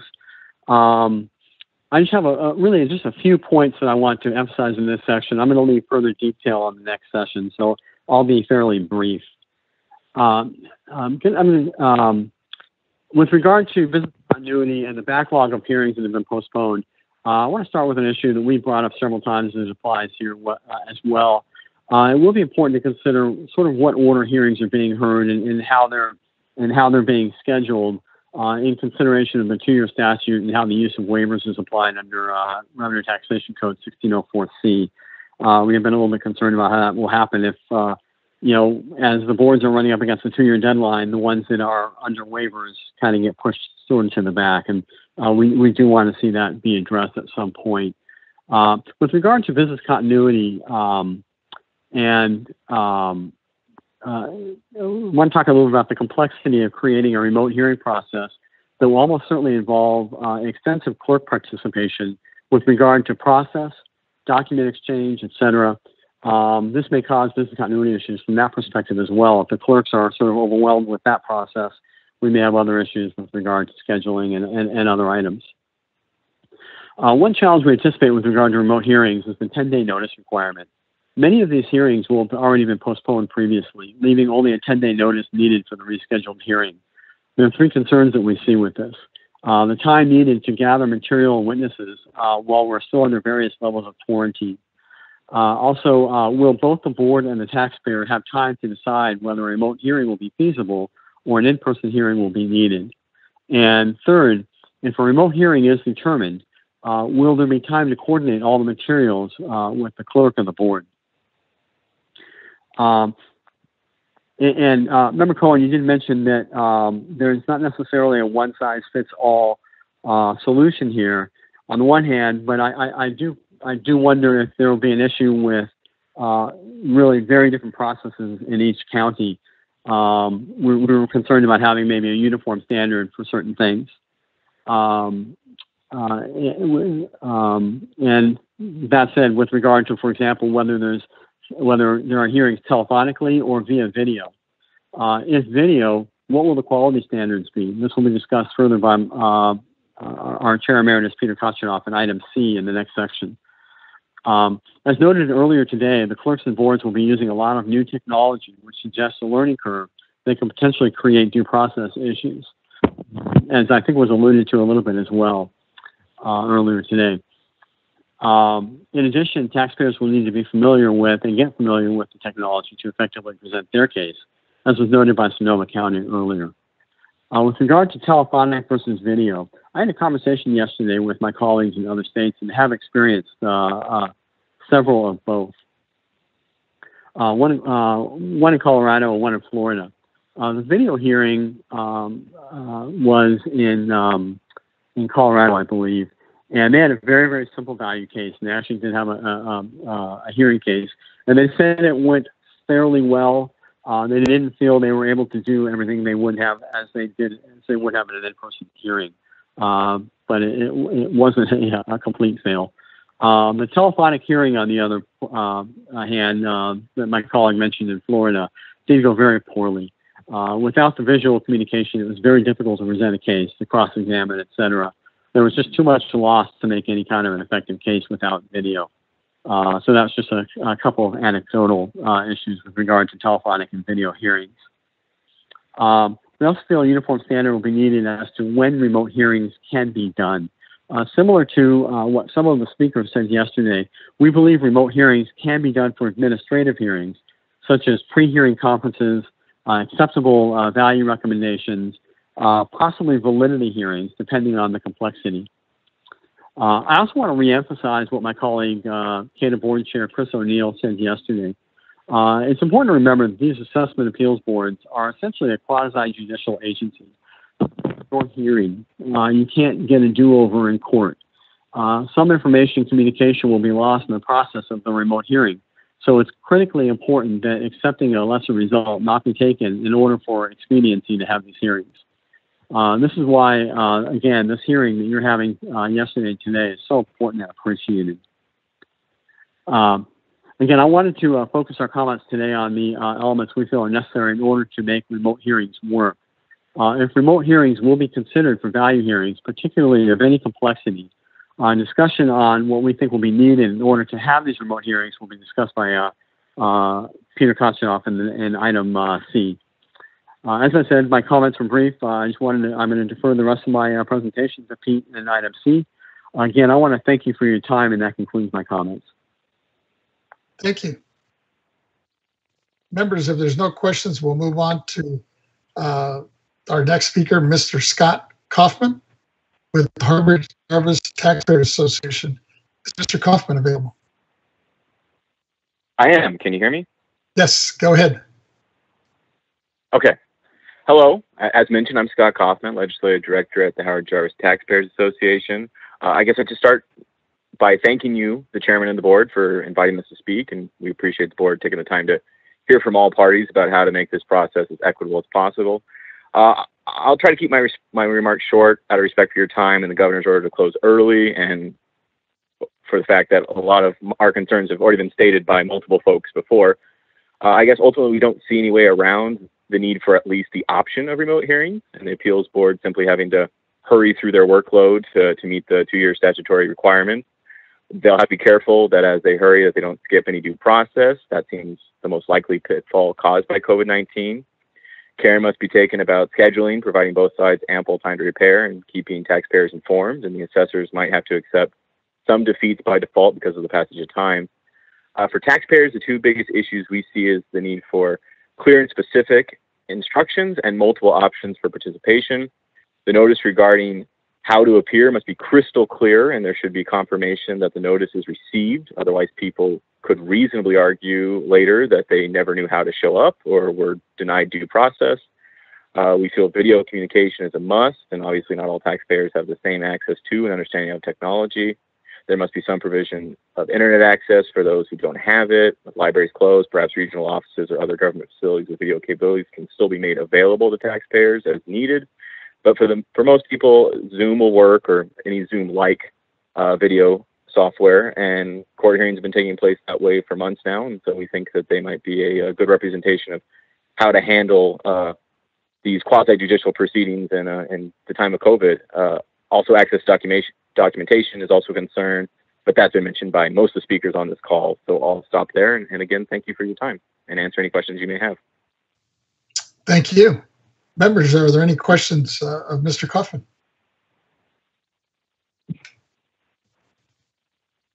Hearing none. Uh, Thank you, Mr. Kaufman, for your valuable insight. And that pretty much wraps up uh, the this B item. Let me ask uh, Ms. Davis if there's any public comment on this before we take a break.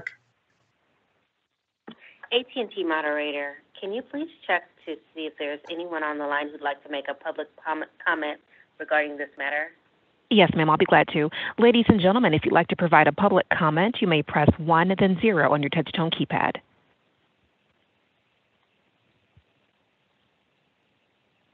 And once again, if you'd like to provide a public comment, you may press 1 then 0 at this time. And I have no one in queue to provide public comment. Mr. Chairman, we do have several public comments that have been submitted for, um, that need to be read into the minutes. You want to do that now? Hi, Ms. Davis. This is um, Acting Board Proceedings Chief Henry Nanjo. I believe the comments I have are all for M1C. Um, I don't believe I have any for M1B. Okay. Thank you. Thank you.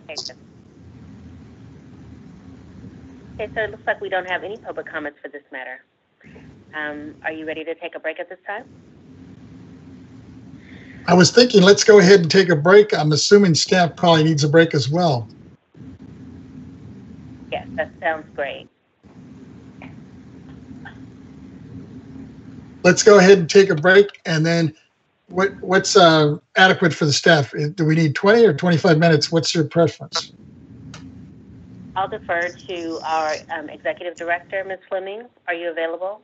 Thank you, Ms. Davis. Uh, Chairman and members, if we could take a 25-minute break, that would be helpful. All right, we'll do a 25 minute break.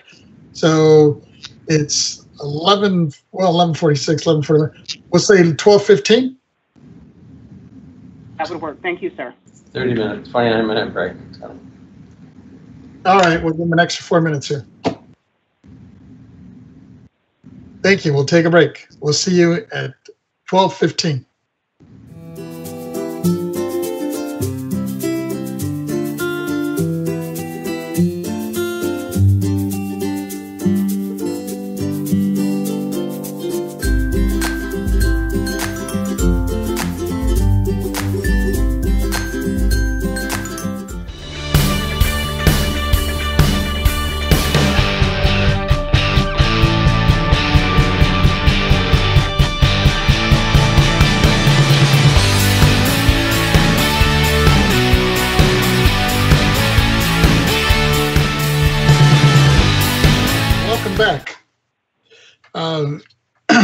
First of all, I'd just like to thank all the participating members uh, for that first panel and the discussion today. It went great.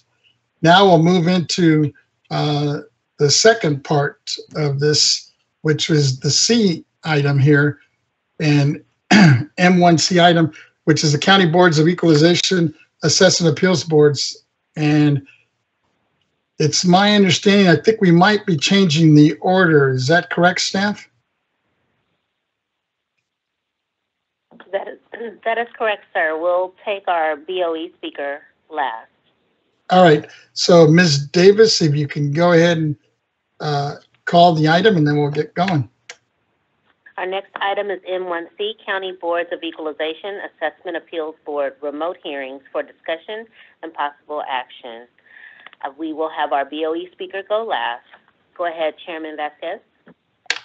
So we'll start off and then, uh, if I have this right, with the Mr. Thomas Parker, Deputy County Counsel for the Los Angeles. Yes, sir. Yes, sir. This is Thomas Parker with Los Angeles County Counsel.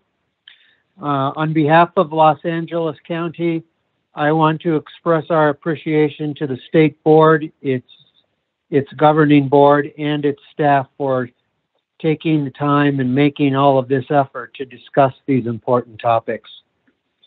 Um, I would first like to um, make some brief comments if I could.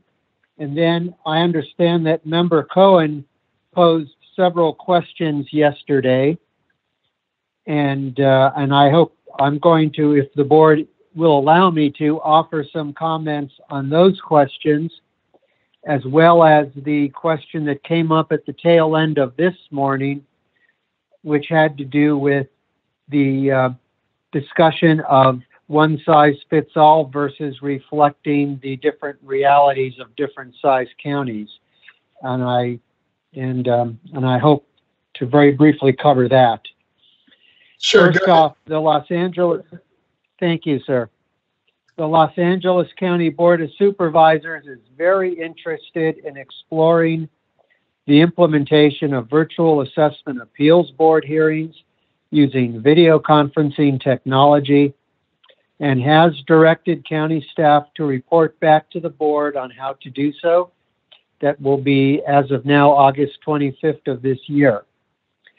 Some issues that we have identified to date are ensuring that AABs may utilize virtual hearings not only during the emergency, during pursuant to the authority of the governor's executive orders, but also as a long-term solution to our backlog of cases. Ensuring that virtual hearings are treated as the legal equivalent of in-person hearings such that due process is satisfied and that the applicant's agent's participation would be mandatory when they are held. Ensuring the availability of virtual hearing technology so that all parties may fully participate in the hearings, establishing protocols for advanced submission of documents and exhibits from both parties, as well as distribution of them at, at whatever point in time is chosen, developing secure and reliable virtual hearing technology and document management systems, protecting confidential information of taxpayers that is raised during the virtual hearing, ensuring access to hearings by the general public, guidance and direction from the State Board of Equalization on how to best move forward with implementation of virtual hearings would be extremely helpful. Regarding the questions raised by board members, yesterday and today. The unrepresented taxpayers, the uh, the the question of uh, of whether one size fits all, or whether different protocols and guidance might apply to different counties, the Kings counties of the world versus the Los Angeles and San Diego's of the world. That is an important issue, and I'm glad it got raised from a purely personal viewpoint, I've worked now for five counties as a property tax lawyer. As small as Colusa County, with all of 22,000 people, as well as El Dorado with about a 170,000 people, all the way to all the way up to my current employer, Los Angeles, with 10 million plus. So, as a property tax lawyer, in my own experience, I have seen small, medium, and large counties handle property tax matters and AAB appeals. That is an important issue for the state board to resolve as a part of its process. Regarding the question of the three most important issues that the state board should work on, the first would be review the review and necessary modifications or LTAs regarding hearing procedures as needed. This gets to this first point I talked about, the question of one size fits all versus different rules. But however the state board chooses to address that question and that issue, we do need state board guidance. what part of due process is identified and needed as necessary for remote hearings. A, a number of good elements and valid elements of due process have already been mentioned by other speakers, so I will not repeat them here. And thirdly, and this is very important, ensure legal authority beyond the governor's executive orders N63-20 and N72-20 for the holding of remote hearings after this emergency has officially ended. To the question, what is the greatest challenge to due process in remote hearings? The greatest challenge, but certainly not the only challenge, is ensuring that ensuring technology is used that will allow access for the parties to carry out their participatory functions and for the public to observe if they wish to. Steps that the county is taking to address the remote hearing challenges have already been addressed by speakers earlier today. I would not try to repeat them or state them any better. The, the question was, was raised yesterday by Member Cohen at, towards the end of the day. Is there statutory authority right now for remote hearings? And speaking as a legal counsel, it's my view that there is no explicit statutory authority right now, and there's no explicit regulatory authority for remote hearings. Um, so the state board needs to provide some regulatory authority for remote hearings, and it's an open in it and it's a potential question as to whether or not statutory legislative authority should be also obtained if possible from the state legislature. Um, with that, I will answer any questions the board may have. Thank you. Members, do we have any questions? Hearing and seeing none. Uh, Mr. Chair, this is Melinda. Oh. Good afternoon, Yes. everyone. Welcome back. Uh, Just to the speaker, I don't have any questions. I just wanted to thank him for listening and and speaking to the questions that I raised uh, yesterday. I appreciate that. Thank you. Thank you. With that, we will move on. Uh, Second speaker we have on this topic is actually, we're inviting back. uh, Miss, we have uh, Marvis Mazyck, Chief Deputy City Clerk for San Diego County Board of Supervisors. Is Ms. uh, Mazyck available? I'm here. Are you able to hear me? Yes. Welcome back. Thank you. Thank you again, Mr. Chairman and members of the board, um, for the opportunity to provide comments on this matter.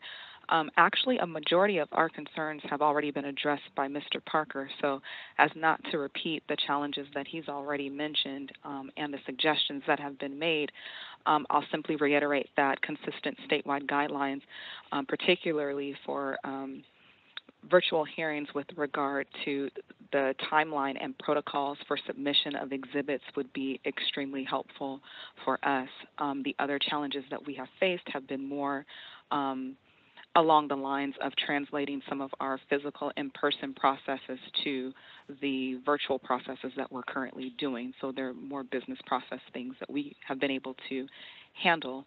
Um, so again, statewide guidelines would provide us with consistency um, across um, the, the region as a whole in the virtual process. Um, subject to any questions, that's all I have. Thank you. Thank you, and thank you for being brief. With that, uh, let's bring, let's see if uh, Lisa Cho, Deputy County Counsel for San Mateo County, is she available? Yes, I'm here. Welcome. Hello. Thank you, uh, Chairman Vazquez and members of the board. My name is Lisa Cho, and I'm with the San Mateo County Counsel's Office. And Can you to the speak up just a little bit louder? Sure. Is this better? Thank you.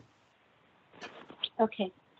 I am counsel to the AAB here in San Mateo County. We're located in the Bay Area and we encompass the west side of the Bay from South San Francisco all the way to Menlo Park, and we serve a population of 760,000. Um, we are one of the counties that has not yet reopened for hearing, whether in person or online. And I was asked to share my perspectives on um, the challenges that we face with moving to online hearings. Um, since the shelter in place went into effect in March of this year, our AAB has canceled its hearings two months at a time as we assess the pandemic situation and the possibility of reopening for hearings safely. Um, one important factor to note is that we actually convene at the San Mateo County Superior Court in the County Board of Supervisors chamber, which is located on the first floor of the courthouse. Um, this is a heavily trafficked public building. And until recently, due to a bunch of construction projects that were going on around the courthouse, all staff and members of the public were going through one main entrance, which also um, served as a security checkpoint. So there was some concern over safety and social distancing. And um, the court itself has tried to limit its in-person proceedings to only those departments where such proceedings are truly required. And in many cases, they have been able to move their less complex hearings online, although it's my understanding that they have not done so yet for full evidentiary trials. So due to the physical aspect of where our hearings are conducted, uh, there has been a real concern about health exposure risks to our board, our staff, as well as the parties that would come with convening in-person hearings at this time. Our AAB members have expressed a desire to move to remote hearings if possible. Um, on the technology side of things, we are fortunate that our county's ISD department has not only assisted our Board of Supervisors in moving to hearings online, but they've also assisted several of our court departments in doing so as well. So through that process, they've been able to do a lot of the troubleshooting and work out some of the technological challenges um, of conducting hearings online that have been shared by other um, speakers throughout these proceedings. Um, our ISD staff has indicated that if and when we are prepared to go to remote hearings, they will help with setting up a Zoom webinar account which is a platform that would allow the commissioners and the parties to participate in the hearing, as well as allow for members of the public to view a live stream at the same time, and that would preserve the public's right of access. Um, ISD states that they will also assist with providing training to our AAB members and clerks. They can run us through a practice hearing where we can all get familiar with the features of the platform as well as helping to create a protocol for our parties to log in online, similar to the protocols that they've created for the court. So from a technological standpoint, I do feel that we would be well um, supported by ISD. We've also had some discussions about um, the sharing of documents in a manner where we don't have to be passing uh, physical documents to one another. And so they have suggested the use of a secure online Dropbox. And so I was very interested to hear what others have had to share about the benefits and challenges of using such document sharing platforms. And I'm very open and wanting to collaborate further with other counties regarding whether one particular platform is preferable to another. Um, as far as numbers, we are fortunately in a position where our taxpayer applicants have uh, more or less been amenable to waiving the two-year statute of limitations due to the ongoing pandemic. We had one appeal that had a pending deadline in November of this year, but with Governor Newsom's recent executive order, that deadline has now been pushed out to the end of January, um, which provides us with relief. And I wanted to express my sincere thanks to the board and the board staff, as well as to the governor's office, for hearing and responding to that need on the part of our AABs across the state. Um, for us, the next earliest two-year deadline doesn't come up until July of 2021, but we are very cognizant that hearings cannot be held off indefinitely and that there will be a major backlog of appeals once we do reconvene. We've had approximately 30 new appeals get filed since the shelter in place went into effect, and we have had to reschedule nearly 700 appeals during this shutdown. Um, as far as comparing numbers from last year to this year, in 2019, we had uh, 1,502 open appeals. In 2020, we had 1,345 open appeals, so there's a slight decline in the number of, of appeals that have been filed. Um, the main concern and the number one ask that we would have for the Board of Equalization is the need for state level guidance and protocols for conducting remote hearings in a manner where due process concerns are addressed. And this has been spoken to by many of my other co uh, speakers on the panel.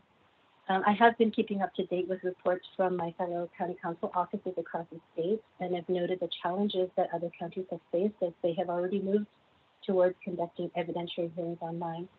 And the primary challenges, of course, are determining whether a witness is being coached off screen and the ability for parties and the panel to adequately view one another's demeanor and facial expressions throughout the hearing when they're also trying to navigate through electronic documents, whether on the same screen or on a, se- on a separate screen. Um, the second ask that we would have is guidance on how to timely and securely share documents prior to a hearing and any protocols for when parties wish to introduce additional documents at hearing, which often occurs when we are in an in-person setting. Uh, certainly throughout uh, today and yesterday's proceedings, there have been a lot of other uh, very helpful insights that have been shared. Um, I want to note that the courts have been able to move towards some remote hearings with guidance and orders from the Chief Justice as well as the Judicial Council. And so on behalf of RAB, we would seek similar guidance and protocols from the state on how to proceed with remote hearings during this unprecedented time. Thank you so much for allowing me to share my country's perspective with you today. Thank you. Members, do we have any questions for Ms. Cho?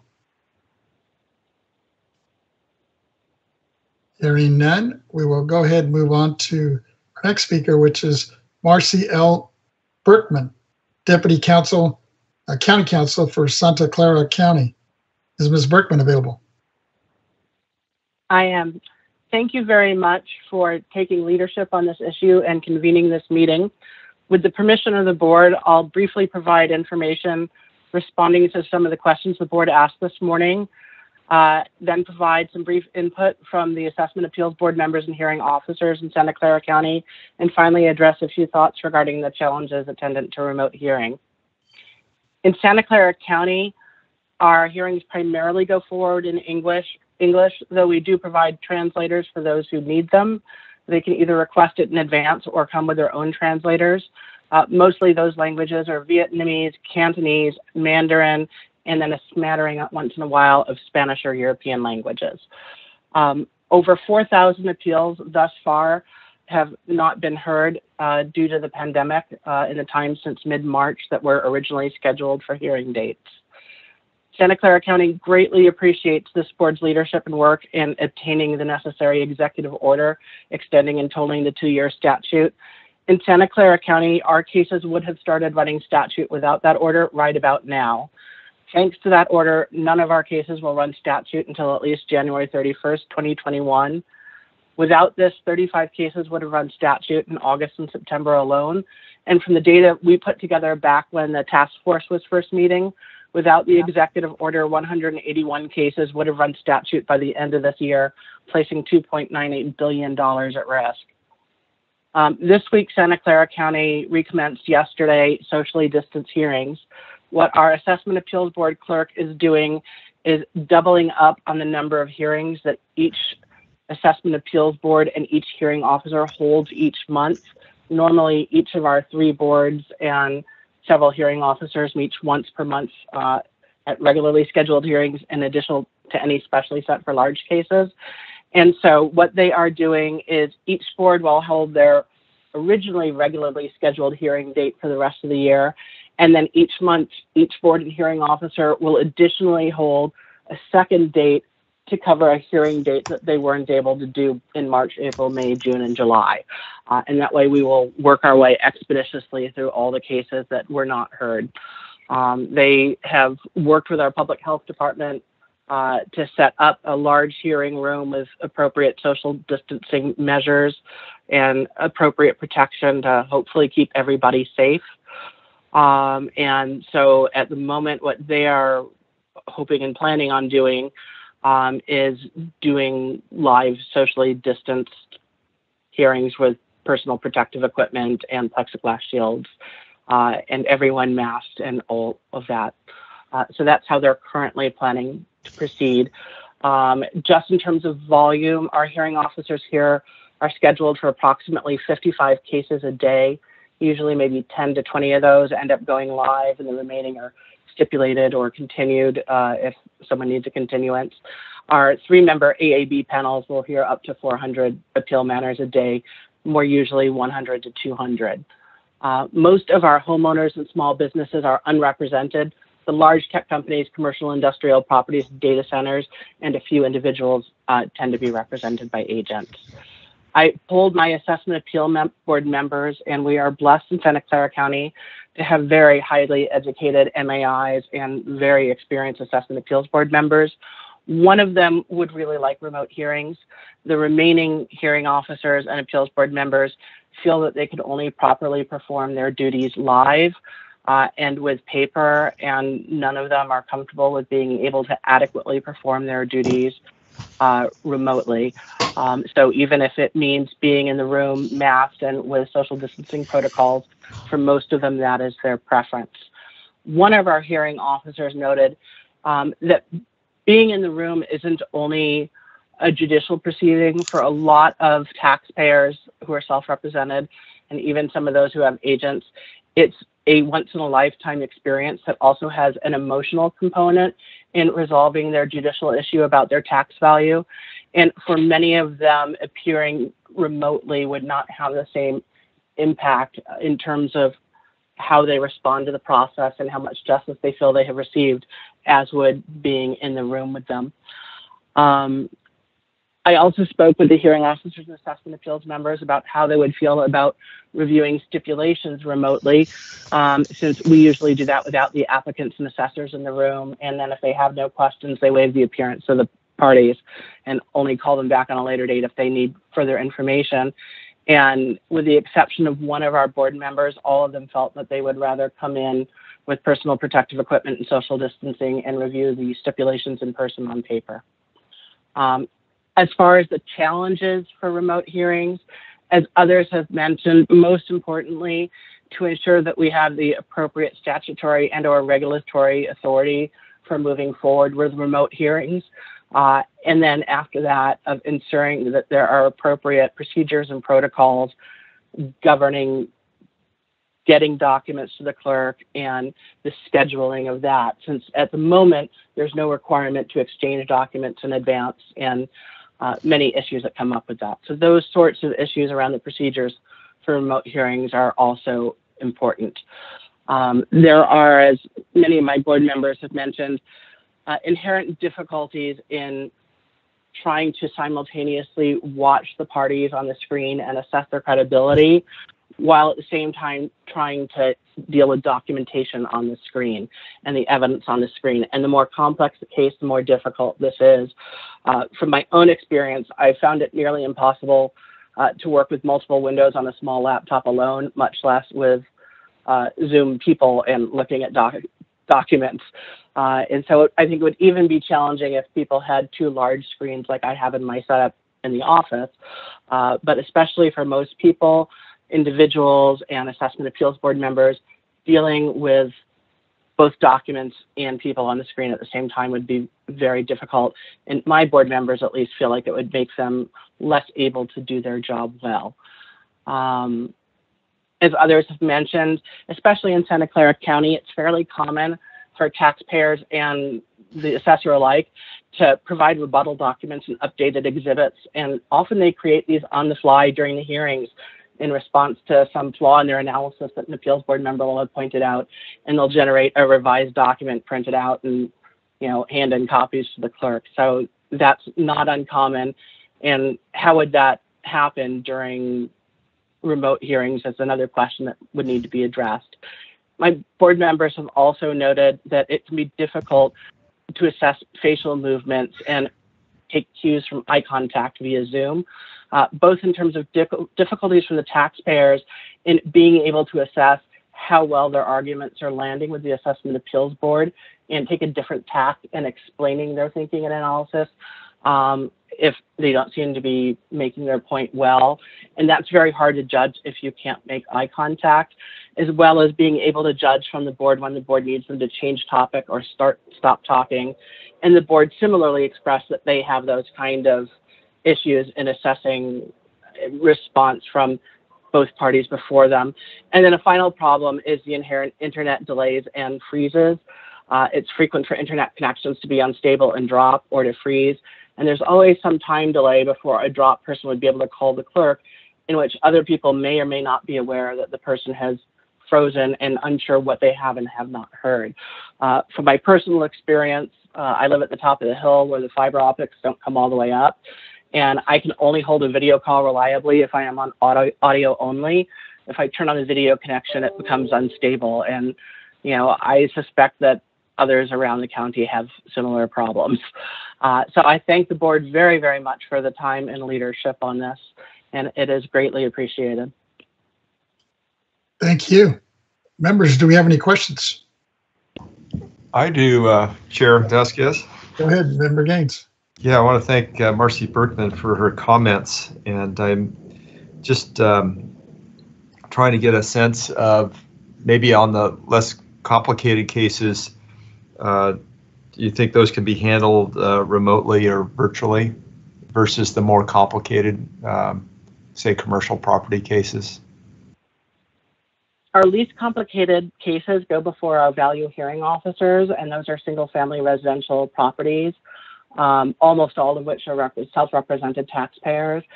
Both my hearing officers felt that they could not do their job appropriately working via virtual remote hearings, and both of them expressed a, expressed a strong preference to having live socially distanced hearings, even with having to wear masks at them.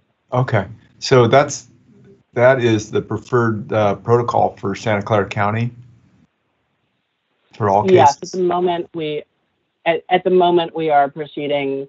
Uh, we just started yesterday, and they've put together essentially a double schedule of cases. All the cases that would normally be being heard through, I think they've planned out at least through November at this point, plus additional hearing days to cover the hearing days that did not happen in March through June. So each board is hearing, you know, its current calendar plus a calendar that it missed in March. and Okay. working their way forward. Yeah, and you think that you can, um, you're okay in terms of backlog and be able to to handle that and stay on schedule? Um, I know that the executive order has been of great assistance to us in things not running this year. Yeah. Um, I anticipate that it might be uh, something that would be greatly desired and necessary to get additional extension legislatively or through the governor as time moves on. Um, we have so far missed 4,000 hearings. Um, and so that's created a backlog, and we are doing everything we can to go through that. But as these happen, it of course creates additional backlog further down the road. So we'll know as time passes how that's looking, but we're doing our best, and further assistance would be greatly appreciated as well. Okay, very well, thank you. Mr. Chair, this is Malia. May I have a, may I ask Ms. Berkman a question? Go ahead, Member. Thank you. Ms. Berkman, uh, curious, if a taxpayer wants a remote hearing, will they be able to have one? Especially when you consider that the, with the executive order in place, um, and I, I have to believe that there's some taxpayers that don't want to come in, especially uh, with these shelter-in-place orders in place um, and virus load increasing in your county. Do taxpayers have that flexibility? At the moment, we are not set up for remote hearings, and I don't believe my county has begun addressing how to do that. And uh, I think it will be tremendously helpful from the guidance from the board as they begin to put together statewide protocols for that. Um, but at the moment, we have not begun working towards remote hearings because our county chose instead to do live socially distanced hearings. I have a question. Who makes the decision in your county? Is it the county board of supervisor? Is it the health executive officer? Who who determines? Our, our, our health I believe it was our health executive officer in conjunction with our county executive um, and other high level people at the county. Um, and I'd have to look to see exactly who that memo came from, but they released a memo, oh gosh, maybe a month, a month and a half ago, permitting those bodies that conduct uh, judicial and quasi-judicial hearings, evidentiary hearings in the county, to begin going forward again with in-person hearings according to the social distance, pro- the, the public health protocols established by the public health officer. So I know, for example, that facilities and fleet working uh, using the formulas provided by the public health officer and the instructions from the public health officer, came in and measured out and spaced out the room and calculated the maximum number of people permitted in the room at once and uh, worked to put up plexiglass shields and the other spacing and ensure all the protections required by our public health officer would be there. But so I, I believe the decision was made by county exec together with the public health officer and other high level people at the county. Okay. You mentioned that you I don't recall exactly who the memo came from. Okay. Um, so you mentioned that you polled the AAB members, and they said they Yeah. prefer to be in person. Is that right? Correct, except for one of our members. Okay. Um, and we have one member who, um, had medically a rough time for a while, um, Okay. and he would uh, he would very much prefer remote hearings. So how many AAB members are there? We have three three-member panels. We have four hearing officers. Okay. Um, So, but what about the taxpayers' concerns? Wait, hold on. So I know you polled AAB, but what about your taxpayers, the, who, were- who were all serving? What, how, how are, how is their voice, sounds like their voice is missing in this decision-making process.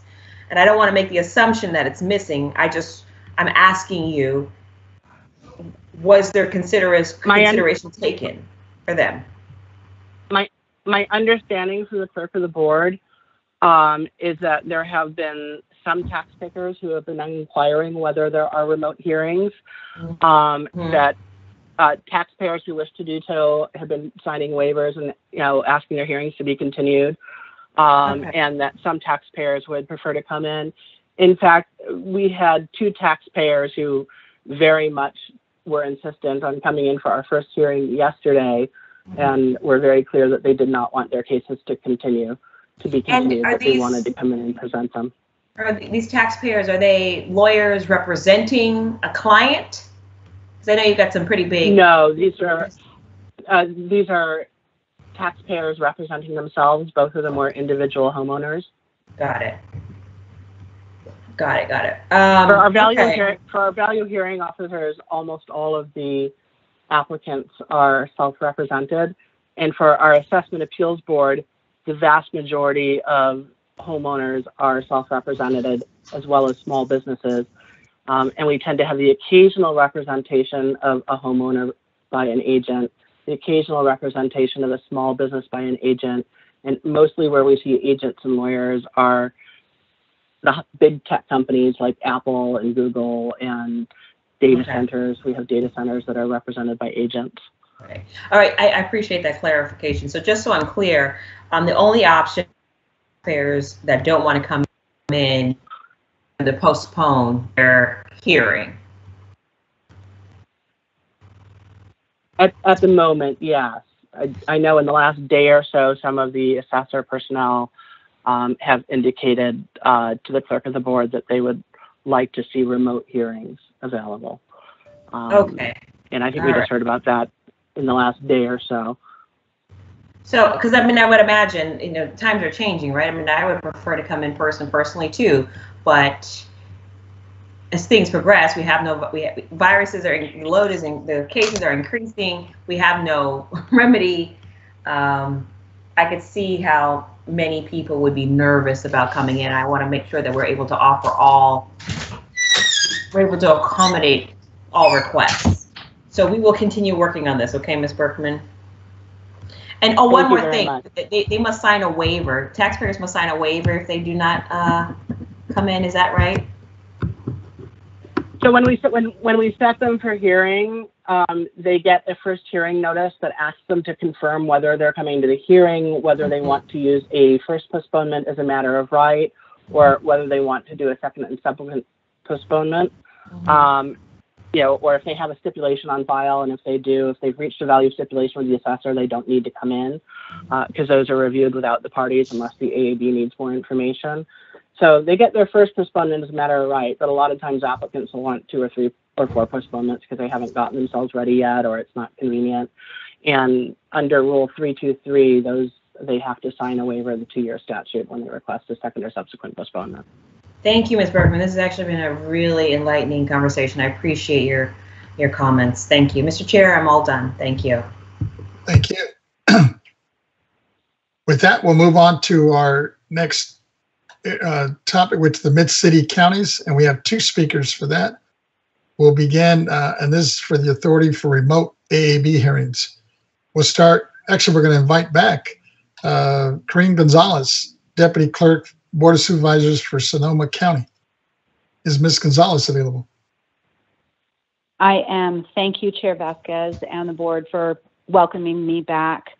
Um, I, I'm going to keep this as brief as possible because I don't I, um, I, I don't want to repeat what uh, previous speakers have stated. Um, I agree with uh, Mr. Parker from uh, Los Angeles County. Even though we are a mid-sized county, I think that the uh, I want to echo the sentiments that you know statutory regulations and having consistency from the BOE um, regarding um, most most uh, importantly for our county uh, and for me in particular is early document production or um, the evidentiary timeline when we can release documentation, how are we going to receive it, how are we going to organize it. I know what we've been doing so far, which I stated earlier, which is through a, a cloud based system and then simultaneously releasing the evidence to all members. Um, Ms. Berkman brought up a, really good point um, that there are rebuttal docs that are submitted in the middle of a hearing through Zoom, we are able to do a screen sharing, although we haven't had to do that yet. I can anticipate that will occur, I imagine, in September when we have a pretty heavy evidence uh, document hearing. That being said, uh, I also would like to um, have some some rules or or uh, clarification on administering the oath. I can tell you it's one thing that I didn't speak of earlier how we've been administering the oath is every panelist, anybody who will be giving testimony, obviously will be administered the oath. Once I give the oath, I ask that it be affirmed, and then I stop and I stop and ask the question: Is there anyone who answered in the negative? And and then pause and wait for anybody to be able to uh, to answer and I haven't had that so far. I, we've run this past two of our county counsels, and so far we don't think that there's going to be an issue, but clear guidelines regarding administering the oath um, would be would be wonderful also um, to have. Um, I don't think that I have anything anything additional other than um, if needed to extend the two year um, extension from January 31st um, forward because we don't know where we're going to be come January 31st. I mean, I, like many other counties, have th- have applications that are or appeals that are going to be expiring January, February, March, April, May, June.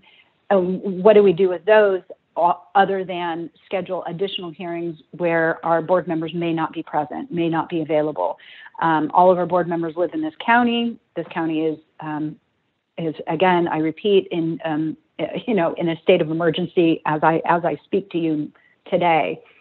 Um, all, our unlike Ms. Berkman, Sonoma County um, has uh, held held our held our hearings and held them all remotely.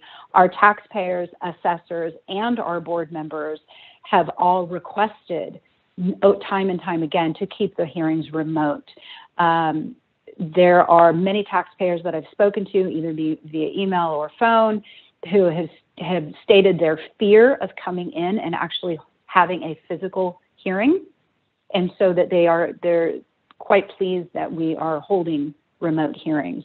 The demographics of our board members are of a higher risk, except for one board member, and they would still prefer that we all hold our that we hold the hearings remotely. Uh, I do not have any other any other questions or any uh, any discussions further. So if there are any questions, I'm happy to answer. No, thank you for your insight. Members, do we have any other questions? Hearing none, we will go on to our next speaker. And actually, we're bringing back uh, Ms. Julie and I believe it's Dachtler, right? I think I pronounced it wrong last time. Senior Deputy Clerk, Board of Supervisors for Yolo County. Of Yolo County. Yes, this is Julie Dachtler, Senior Deputy Clerk with Yolo County Board of Supervisors, and I just want to thank you for allowing me to again address you today. As other speakers have stated, I also on this whole issue. We're in strange times, and so it leads to opportunities and also some um, interesting outcomes here. So hopefully, you know, we can all work together and come up with solutions. So um, I do concur also with many of the other speakers about having state guidelines that would provide consistency. And um, I don't have a whole lot to add, but I do have a few things that I think might be important that the BOE should focus on. Um, first, um, it, I believe that question's been answered, but are we allowed to hold evidentiary hearings in a virtual setting? Um, and then the second one is um, are virtual hearing notice waivers required, which some county assessors are requiring? I received something from um, an agent, and it was an agreement that he sent me about waiving in person assessment appeal hearings. Um, the agent explained to me that it seems some county attorneys believe that section 1607 and 1610.2 make reference to personal appearances. They are of the belief that at this point in time, online hearings may conflict with these two sections of the code. Since this is a legal opinion, it seems that every county may have a different interpretation of these sections, but a number of agents in the southern region of California are insistent upon having the hearings in person. So I just wanted to bring that up. Um, and then third, um, it would be helpful if the BOE could provide standard or sample language of what to place on hearing notices and scheduling virtual meetings, and also perhaps sample language in which clerks can send to taxpayers who wish to address the board and how they can provide evidence. Um, also, something I was just thinking about as people were speaking is that, um, you know, it might be helpful to in the future um, to keep remote hearings as an option, even when we can return to in-person meetings. Um, sometimes I think one speaker mentioned about some of the uh, taxpayers, it's actually very convenient for them to just be able to be where they are and then attend the hearings. So it would be nice if we could do some sort of a hybrid, I guess, approach, um, perhaps doing in-person meetings and then allow those who wish to attend via Zoom or other platform um, could also do that going forward. So that might be somewhat of an opportunity and may get through some of the appeals um, faster. Um, we're very lucky here in Yolo County that um, we are able to continue to conduct our meetings. Um, we are able to do it from our office, so we do have equipment available that helps us to, um, you know, conduct the Zoom meetings in, a, in an efficient manner and um, we've had practice. Um, we also, you know, conduct our board of supervisors meeting, and we are moderating and also clerking those meetings. So that's been helpful to get kind of that practice under our belt. Um, for counties that may be interested in doing Zoom meetings or other platforms, having uh, mock meetings ahead of time with their members might reassure them that you know it's it's you know how to how to run the meetings, how it feels, and you know might be an assurance that it is possible to do that. So um, I, um, I really don't have any other comments to add, except I just want to thank you for letting me participate today and, and explain how we in Yolo County are carrying on with our business plan. So thank you very much. Thank you. Members, is there any questions? Um, this is Malia again. Yes, Just wanted to thank uh, Yolo County for their presentation. I have no questions though. Thank you. With that, members, we're going to move into our third area, which is the rural counties. We have one speaker representing the rural counties on guidance and authority to remote for the remote AAB hearings. and that is Miss Melanie Curtis, Deputy Clerk, Board of Supervisors from Kings County. Welcome back. Thank you very much. Uh, I appreciate the opportunity to give some information um, from Kings County. And this is once again Melanie Curtis, Deputy Clerk to the Board of Supervisors, who also sits as our Board of Equalization.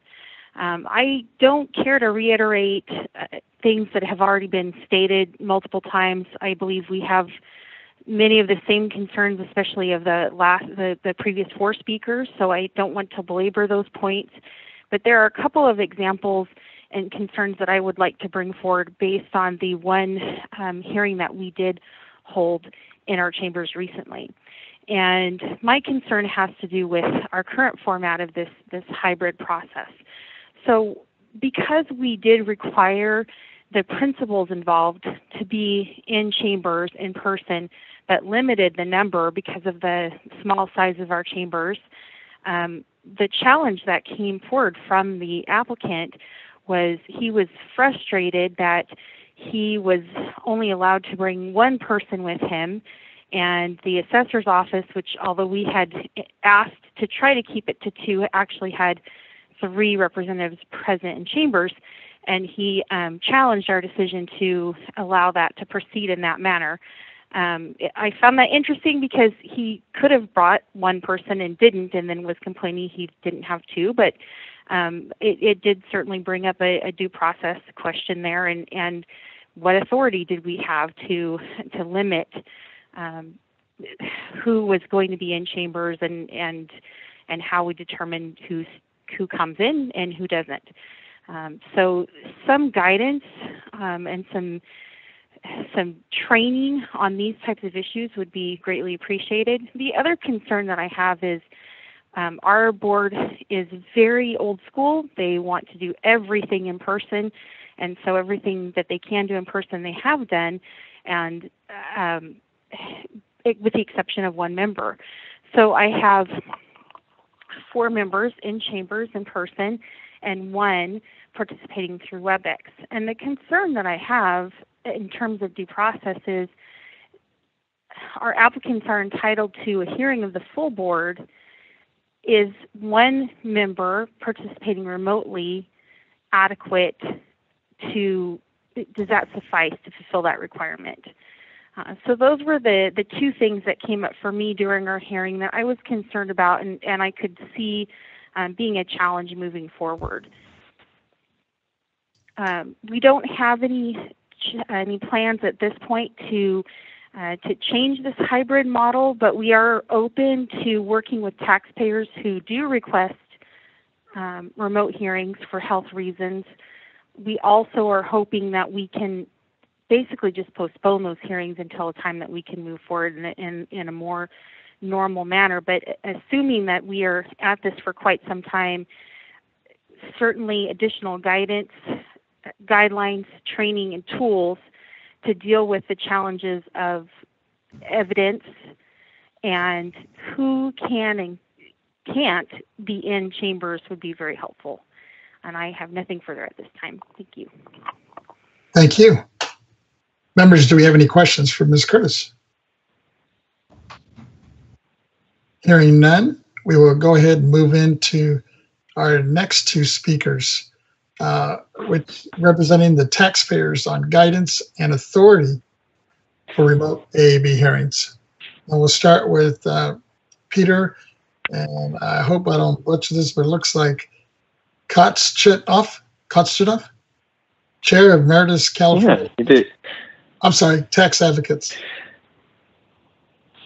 No, you, you got the pronunciation right, and I appreciate that. It's always a tough name to pronounce.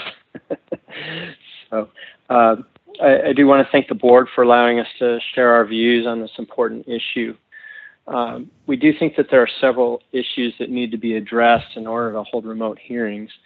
And, you know, as has come up earlier on this call, um, you know, Property Tax Rule 301A says the functions of the board are one, to ensure that all applicants are afforded due process and given the opportunity for a timely and meaningful hearing. So due process is really the primary consideration here. And, and I think it's important to note that uh, assessment appeals boards are quasi judicial courts, and the trial is at the board because of the bifurcated appeal standard between substantial evidence on factual issues and de novo independent judgment review on legal issues.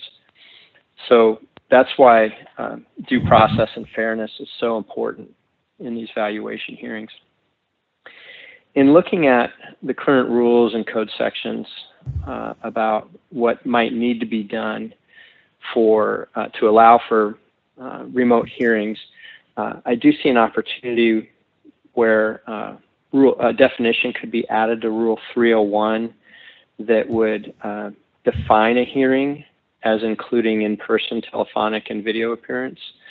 So Uh, I suspect that if a, a, rule amendment was done to Rule 301 to do that, that the rest of the rules and code sections might flow uh, from that, but uh, certainly, um, uh, you know, open to other other folks' interpretations on that. Um, we also think that there need to be some rules to standardize the application of remote hearings across all counties. And we think that this, this process should consider uh, the following items. And, and one question arises is, could value hearings be held remotely while still ensuring due process? And we feel that a, a telephonic hearing all by itself would not afford due process to the taxpayer. So um, you know, from a value hearing perspective, a telephonic hearing would probably wouldn't work. However, a, a, a video hearing on value may possibly provide due process, but it would require some major audio visual technology upgrades and, and, new rules to do so. So if remote value hearings were conducted, we feel that uh, the board should consider you know, the following items. And one would be that participation in a remote value hearing should be optional because all taxpayers may not possess the technological hardware or internet access or ability to operate the technology required for the hearing. Uh, we also think that an important point that others have brought up today as well is that there need to be quality control standards for multi-camera and microphone audiovisual systems on which all AAB members witnesses, taxpayer, and assessor, uh, assessor representatives are clearly visible at all times by everyone in the hearing and can also be heard.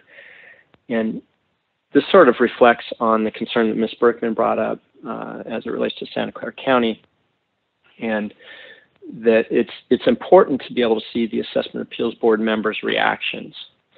And um, you know, sometimes when you know they're not even the ones speaking. And, and i think it's important to see everyone's reactions to certain points being made. And it allows the parties to decide as they're presenting something uh, you know whether or not they should emphasize a certain area or focus on something that might be a point of confusion.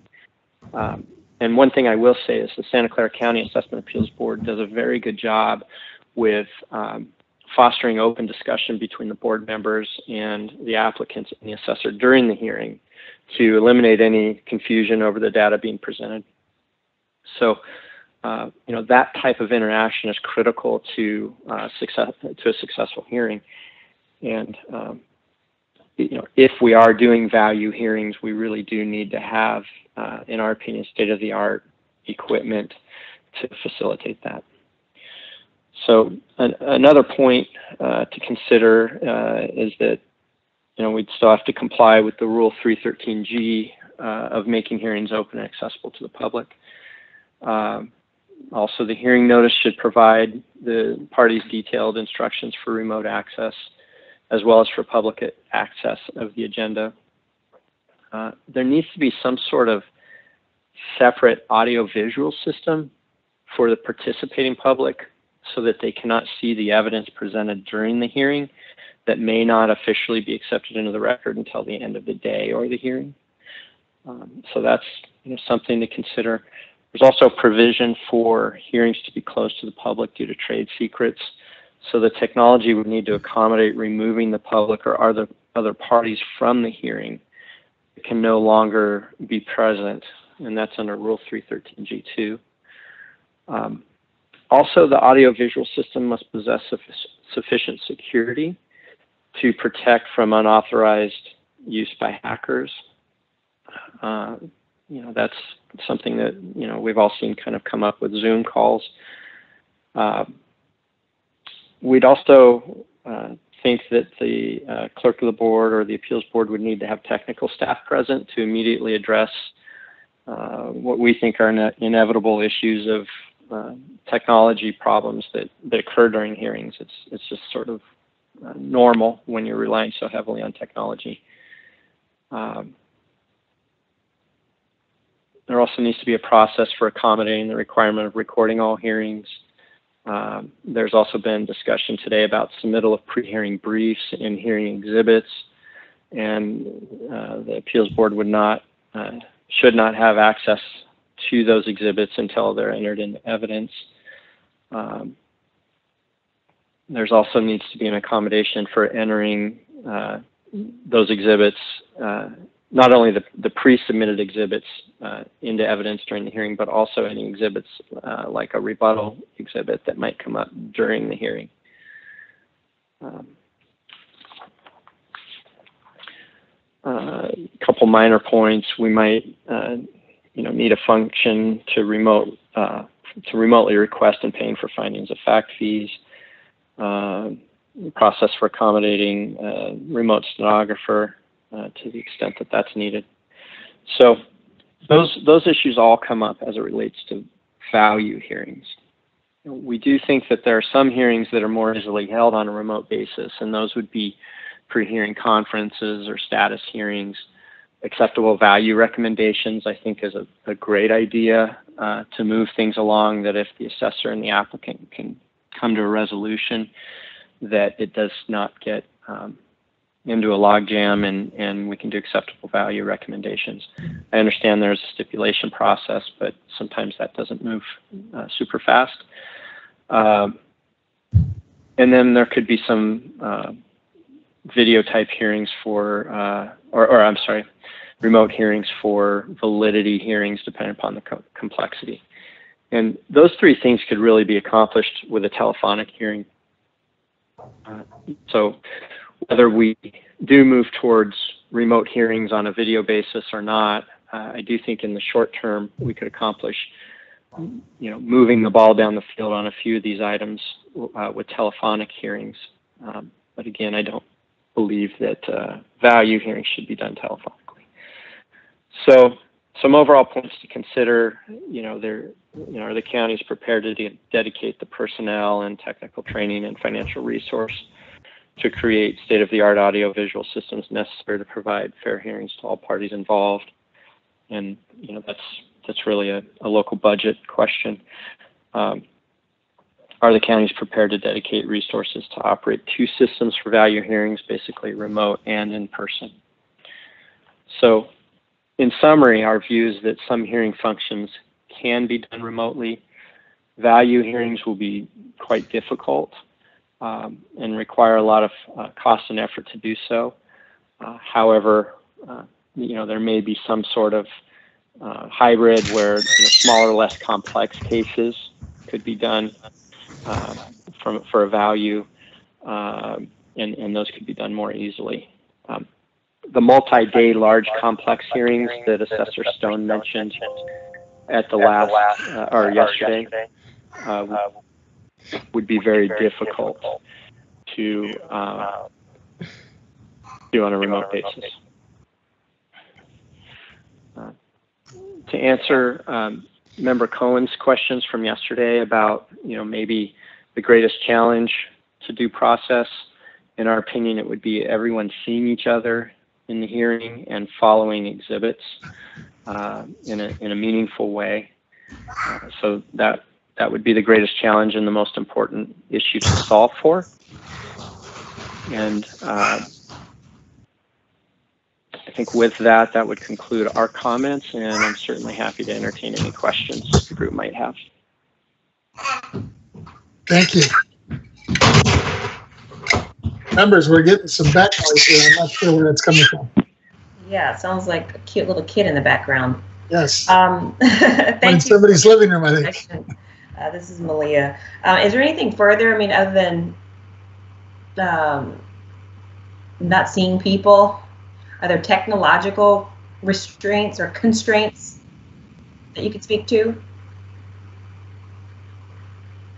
Uh, well, I, I think generally speaking, uh, very few appeals board rooms are outfitted with the technology necessary to accomplish a meaningful value hearing.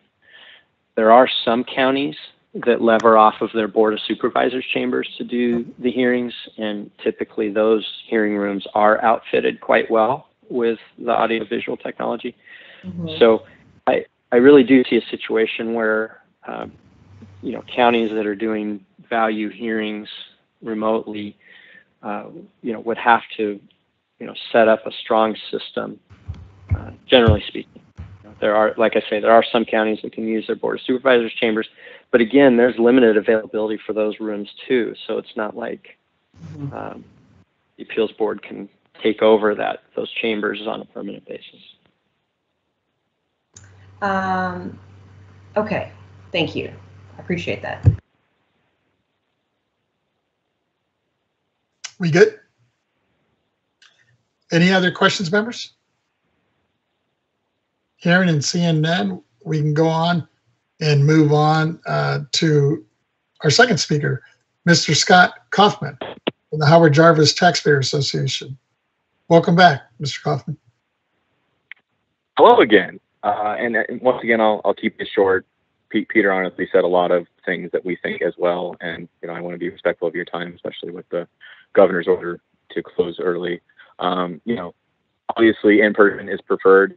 Uh, there's just a rapport there between, you know, the taxpayer and the board and the assessors. I just don't think you necessarily have digital, but obviously we understand that because of COVID-19 restrictions, even an in-person uh, uh, hearing can't always be done in an equitable, equitable way. You can't have maybe all the people you'd like to attend and those sorts of things, and, and pushing hearings off potentially indefinitely is also a question of process and, and you know right to a speedy and timely trial. Um, you know, we think at a minimum, remote hearings have to be done by video, and options for conducting video hearings should be made available. Texas doesn't have access to a, a stable video internet connection. I just I, we agree that telephonically just doesn't make sense and, and present some real due process issues. So I think at a minimum, if if hearings need to be done uh, digitally because of COVID-19 and you know it's continued uh, and the continued issues stemming from that, that it, it should at least be done uh, by video and you know the necessary infrastructure to do that has to be uh, committed to. And with that, that's pretty much it. I'm happy as well to answer any questions. Thank you. Members, do we have any uh, questions or comments for Mr. Kaufman? Hearing none, we will go ahead and move into our last category here, which is uh, our speaker representing the Board of Equalization. Uh, and that is uh, Richard Moon, Tax Counsel. Mr. Uh, Moon. good afternoon, uh, Chair Vazquez, members of the board. Um, I'll just speak very briefly on, on what we uh, view as some of the authority uh, surrounding uh, remote hearings or the ability to do remote hearings. Uh, both the board and the county uh, and the counties have authority to prescribe uh, rules or or guide how assessment appeals um, are done. Um, for the board and and also for the counties as well, that authority is quite broad. So, for example, for the board, that authority is that the board shall prescribe rules and regulations to govern local boards of equalization and and for the uh, for the counties, they have the uh, authority to adopt rules of notice and procedures uh, as may be required to facilitate their work. Um, and so, under that broad authority, we believe um, that remote hearings um, are allowed, um, especially because there are no specific uh, statutory or regulatory authorities um, that would uh, explicitly not permit um, the remote hearing. Now, that doesn't mean, of course, that there aren't many issues um, that need to be worked through uh, or thought about, but we do believe that general authority um, is is there amongst the many issues that need to be considered, not the least of uh, which is are the, all of the due process concerns that many of the speakers uh, had spoken about. Um, but uh, there does need to be consideration, of course, of things like uh, the requirement that the hearing be public, except um, for trade secrets and for deliberation, um, and especially also for um, how the exchange of information may be done. For some of these um, more specific issues um, that may occur as uh, remote hearings are done, um, it may be helpful or necessary to have specific legislation that allows uh, a, a, change to the way that things are done. Particularly, I'm thinking about uh, exchange of information um, if that's deemed necessary. Um, uh, and, and um, but for uh, the general authority to do remote hearings, um, we believe that that authority um, is there. Um, and although the uh, governor's executive order does uh, talk about uh, remote hearings. Um, we don't believe that um, that uh, that uh, authority given by the executive order um, is is even necessary. We believe that authority is there um, uh, absent the executive order as well. And um, I'm happy to take any questions you may have. Thank you. Members, do we have any questions for Mr. Moon?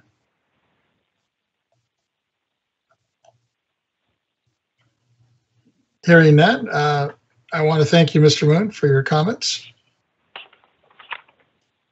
Thank you. Um, I, I think I do have a question. Oh, Ms. Cohen, go ahead, Member Cohen. I, I just want to make sure I understand correctly. So, Mr. Moon, you now agree to publicly, to a publicly noticed convening? Richard? Yeah, I- I'm sorry, I, I lost you there. Oh, okay. I was just saying, so I just wanted for clarifying, uh, to, cl- to clarify, um, um, you now, you, you now agree to, that it is possible to do publicly notice, a publicly noticed convening? Uh, Of a remote AAB hearing? Yes, sir. Uh, Yeah, yeah, I, I do believe it's possible to do that. The authority is there um, to, for um, either the board or the, or the counties to do uh, remote hearings. And what actions do you think we should be taking? Um, well, I think uh, uh, generally speaking, all of the issues that the speakers um, have brought up uh, will be will certainly be issues uh, that need to be discussed. Um, I think there are several options as to what ultimate um, product or guidance can be issued, um, and those are the ones that um, the board is is uh, uh, generally um, uh, able to do, such as letter to assessors, um, assessors handbook guidance, Okay. um, and then uh, regulations, um, whether that be regular uh, or emergency rulemaking. And Mr. Moon, what uh, would you consider priority issues? Uh, I, I think the, the priority, um, especially given all of the testimony from the speakers today, uh, would be to make sure that all of the due process concerns um, are, are met. And in particular, it seems that there are um, a lot of those issues um, that are uh, related to technical ability. So, for example, um, the ability to see uh, everybody on the screen, the ability to exchange information um, at the proper time, the ability to, to make sure that uh, you can, if you're doing a video hearing, that your video is not going to go out or that your internet is, is too slow. So it seems to me that um, a lot of the a lot of the concerns are surrounding um, you know, the protocols and things that would be in effect um, if a remote hearing was done. And a lot of those uh, seem to be related to, to the technical ability to do the remote hearing. All right, I appreciate it. Thank you very much. I have no other questions. Thank you. Members, if there's no other questions of uh, Mr. Moon, I was going to ask Ms. Davis uh, to open up the public comment. I understand we had some people that were on the line or willing to speak, and there might even be some written testimony on this. Yes, we do, sir. Um, AT&T moderator, can you please ask the public if there are any comments on this matter at this time? Thank you. If you wish to make a public comment, please press one and then zero at this time.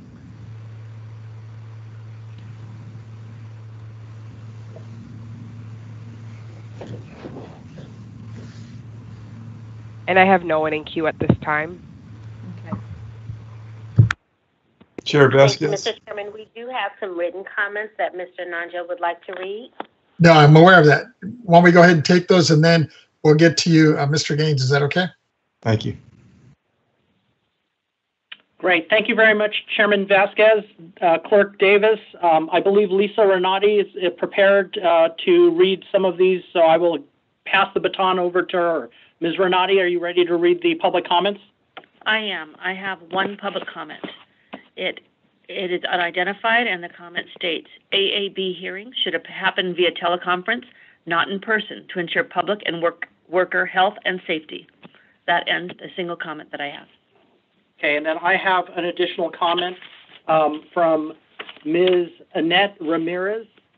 Um, Chairman Vazquez and members of the board, it is our understanding that your board is considering the development of guidelines to assist county boards of equalization in conducting remote rather than in-person hearings. It is also our understanding that the information regarding the manner in which the San Luis Obispo County Assessment Appeals Board and AAB staff have responded to the pandemic and plan to respond to the future may be helpful to your board in the development of said guidelines. As such, and given that we are we strongly support the development of proposed guidelines, we welcome the opportunity to sub- submit the following information.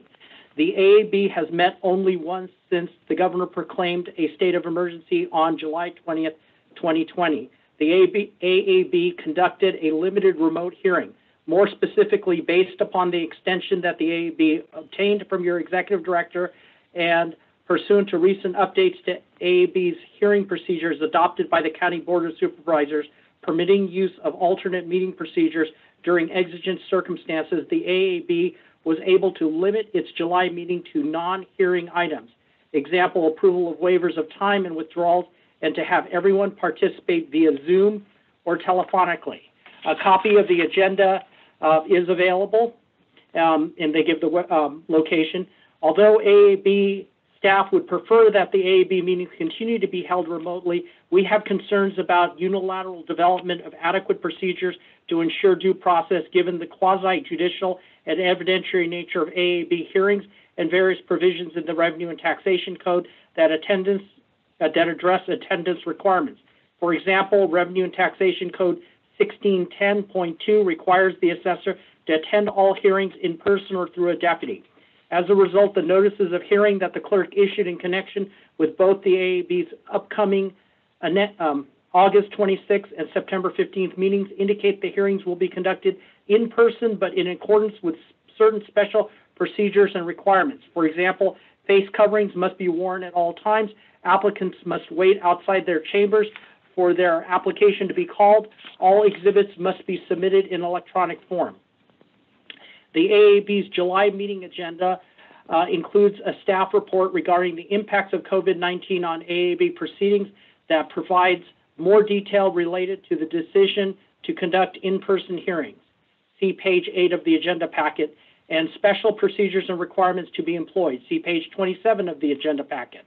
If there is any additional information that we can provide to assist your board in development of guidelines to increase the ability of AABs to conduct remote hearings consistent with due process and other statutory requirements, please let us know. Thank you. Annette Ramirez, Deputy Clerk, Clerk to the Assessment Appeals Board. Um, Erica Stuckey, Deputy County Counsel, Counsel to the Assessment Appeals Board. Um, and then, Mr. Nanjo, I have Catherine Kramer. okay, go ahead. Catherine Kramer writes, August 18th, 2020, California Board of Equalization Board meeting subject, Prop 60, extension of two-year turnaround time selling a house due to complications with COVID-19. I am an over 60 California homeowner seeking help with extending the two-year time frame to sell my Oakland home and be able to apply for tax benefits described in Proposition 60. Due to COVID-19, I have experienced an all-out stop and now slowdown for being able to find contractors to prepare and remodel my home in order to bring it to market with it, within the two years allowed. 2020 has been a very difficult year to proceed with all aspects of my home project. I understand that a California constitutional change will be required to increase this time allowance. I assume that when the two-year period was originally accounted for, that amount of time may have seemed doable. Times have changed. I have lived in my 1937 era home for 28 years. It is my first home purchase and has never been remodeled. I could not afford to remodel. With some proceeds from my parents' home that was sold in 2016 and and lost out on Prop 60 benefits, I began to consider how to remodel. For today's housing market, I must update outside and inside, plus newer expectations of window compliance, sewer lateral compliance, and sidewalk repairs. My home is my first home purchase. I needed to move out at the end of 2018 so that I could begin to repair my home. I am running out of time. Even if I had an additional six months, I think my project could be completed in time. As it is with COVID-19 and home replacement needs due to California wildfires, home repair and replacements on a large scale are absorbing normally available workers. Finding local contract workers has been very difficult during COVID-19. Thank you for considering this constitutional change. There are so many urgent and important issues currently requiring California's attention. Yet it is my hope that this potential time change is not lost within the many government concerns. This time change would make a huge difference to me and my future ability to live smoothly into retirement without fears of tax burdens that could prove to be outside my financial capabilities. Thank you for consideration. Catherine Kramer, Oakland homeowner. And that should be all the public comments that we have received. Thank you. Thank you. uh, Mr. Gaines. Yeah, thank you very much, uh, Chair Vazquez. And I'm just trying to reflect on our our meeting today, and um, seems to me that we ought to be taking action on developing regulations for remote and virtual meetings and um, addressing the due process issue. And um, there were some great comments by our speakers. Um, uh, speaking to code issues uh, 1607 or 1610 with regard to conflict and um, make sure that we're handling the administration of oath properly. Also, Peter uh, um, from CADA mentioned um, an amendment to Rule 301. And um, so I think um, I think this board ought to take uh, action and move forward and it would be nice um, for um, Brenda Fleming to um, digest all this and develop a timeline uh, for when regulations can be uh, set up. Um, there's just a, a lot of in influences uh, that are combining right now, whether it's the uh, pandemic or the recession, um, and how that will impact uh, property values, especially in the office and retail arena. And yet, uh, we have the opportunity to use technology uh, that perhaps can speed up the process, um, but always challenged by due process and making sure that people are being treated in a fair manner. And um, of course, we want to make sure we have a coalition developed uh, for developing these regs that should include taxpayer groups and the California Alliance of Taxpayer Advocates, the California Association of Assessors, and the California Association of Clerk and Election Officials, and others, I'm sure. Um, but I just, um, that's my synopsis, and I'd love to hear from my board members and from you, and uh, specifically Chair Vazquez, and thank you for bringing this to the forefront so that we can be uh, educated and brought up to date on what the challenges are that lie ahead.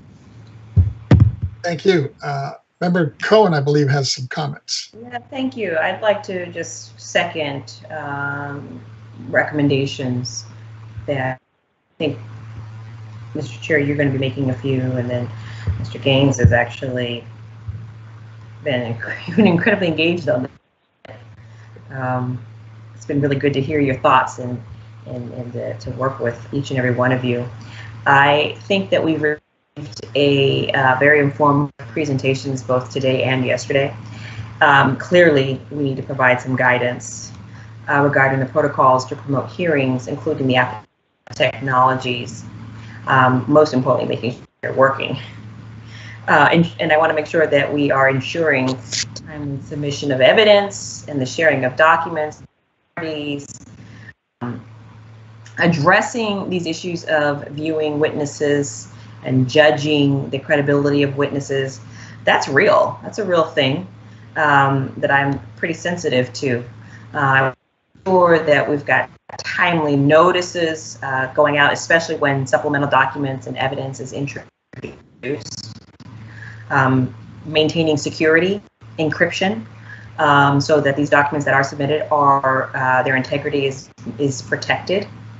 Um, um, also, we need to find ways to address access to technology. We've heard this access to technology for those who are unfamiliar um, and, and, and living in really remote, unconnected technologies. There's always been a particularly in the counties. I think about my own travels up in the northern part of my districts, um, um, connectivity and Wi-Fi is a big deal. And um, so members, I agree that we need to immediately provide guidance to our assessment appeals board, as well as to our assessors. So Chair, I just wanted to um, publicly affirm that I'm eager to move forward and um, happy to work with you all on this important issue. Thank you. Thank you. Uh, Let me take a stab at a motion and see if we can at least begin uh, moving forward. Uh, You know, based on the volume of testimony and recommendations presented to us over these two days and the pending January 31st, uh, 2021 deadline, I'd like to move that we set up a collaborative statewide pandemic continuity of AAB operations work group consisting of five areas. Uh, the first one being uh, putting, let's say, four county AAB representatives, two BOE staff representatives, uh, two board members, representatives, uh, one assessor, and one taxpayer representative.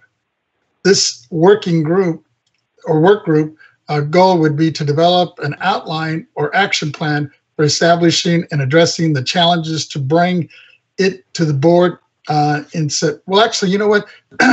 we could just include it in our next meeting, or we need to do a special meeting.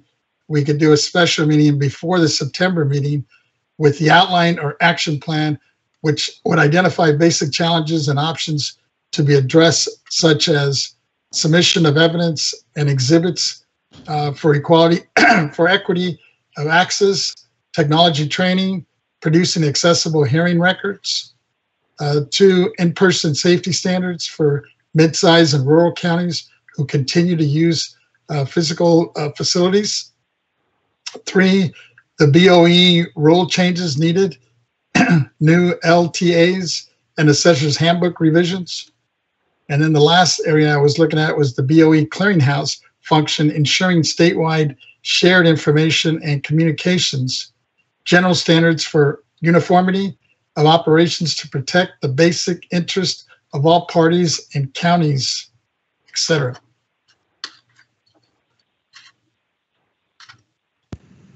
Second. It's been second. Any thoughts from the members? I know it's a lot to take on, but you know, I, I think we have some very good experts that testified these last two days, and I think we need to take advantage of them. I have a comment, uh, Vice Chair Schaefer here. Yes. Mr. Yes, Chair. I've been been very encouraged by everything that I've heard. Uh, uh, I hate to keep bringing up the idea, but I have a little trouble hearing people through a, a cloth mask, a little bit muffled, and uh, uh, I understand the legislature uh, allows people when they're speaking to not have a mask, or maybe use a plastic mask like uh, uh, I came to work with on today. Uh, you can hear people beautifully through a plastic mask. Uh, I would like to always know that they're not going to require a cloth mask every time somebody speaks because it's difficult for sometimes for the hearers to do it. They should have the oper- the option of the plastic mask being available or have a, a, a exemption from the mask while they're speaking. Uh, I've mentioned that before and I mention it now, and I'm very impressed with what uh, Chair Vazquez has had to tell us today and comments of uh, both Ms. Cohen and uh, and uh, Member Gaines. Uh, I feel I've learned quite a bit. Thank you. Thank you. Chairman Vazquez? Yes, so Ms. Stowers, go ahead. Thank you. Um, it sounds like what you, your motion is a really heavy lift and will take some time. And especially when you're talking about regulation or rulemaking, it could take up to a year. And based on what um, our legal staff has said, um, the assessment appeal boards already have the authority to have these remote hearings um, through the executive order. So I think it might be more um, beneficial to do a, a two-prong approach. Um, have some type of convening with the parties that you name to work out um, some guidelines through an LTA. And that could be something that we, we can get done immediately. And then the second prong would be to look for a statutory change so that the AABs can permanently conduct remote hearings. Sure. You know, I kind of put all this in, into one. Uh, but I was kind of envisioning that this working group that we put together, you know, would make those decisions, but uh, I'm, I'm flexible. Chair Vazquez? I'm sorry, um, Mr. Yeah, Gaines? yeah, Member Gaines, I um, really appreciate uh, Member Stowers' uh, comments. I think that uh, addresses the issue long-term and in the short term too. And um, so I, I think that, I just want to reaffirm uh, her statement and I think it's a good, good pathway. Member Cohen, did, did I hear your voice back there? Yeah, you did. I just wanted to speak to like Member Schaefer's concern about like face coverings. I mean, in the end, listen, the law, the executive orders, these health or executive orders, you have flexibility on what the face cover will be. I don't think that we could require that they wear plastic ones, right? But um, I too have a hard time understanding people when they're when they talk and that their faces are covered. Uh, but you know, I don't know if that is enough to prohibit us from moving moving. I don't know. Uh, technology will continue to advance. I, I just don't know the answer. I but I, I appreciate um, Member Schaefer's concerns. I think that they're actually very real. Um, and and and even in talking with my own parents, when their faces are covered or my face is covered and I'm talking to them, it's really hard to understand them. So I am sensitive to that, particularly when you talk about um, also the senior population may have trouble hearing, may rely on um, the reading of mouth. I have an aunt that has a that has uh, a hearing impairment, and so these have been made it very difficult for us to have FaceTime conversations and to conduct just even family social conversations. So I want to uplift what you're saying, Mr. Schaefer, and I, I, agree. But um, we're in, and we're also going to uh, try to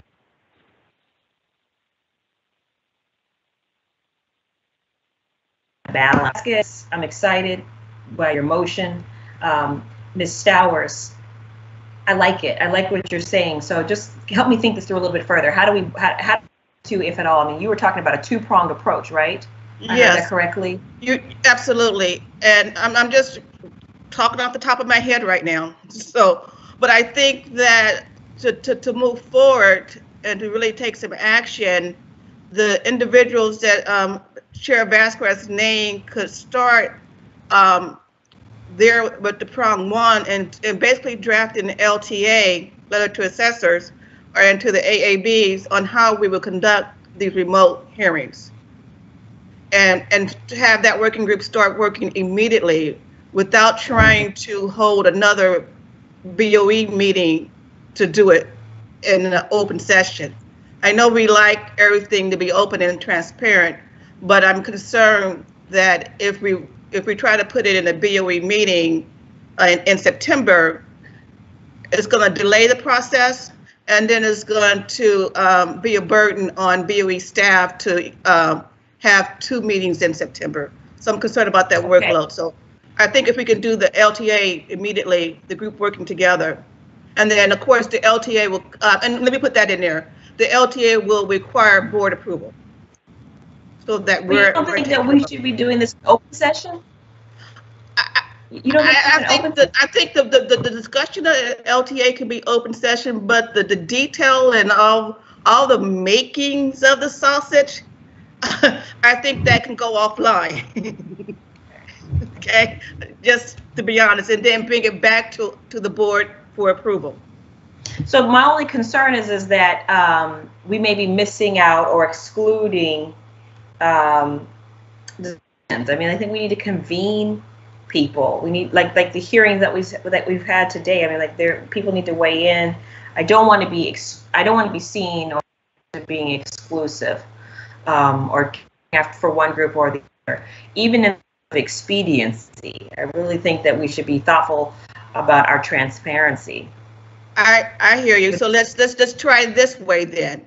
Let's have a interested party stakeholder meeting that's open to the public and anybody who would like to participate can participate.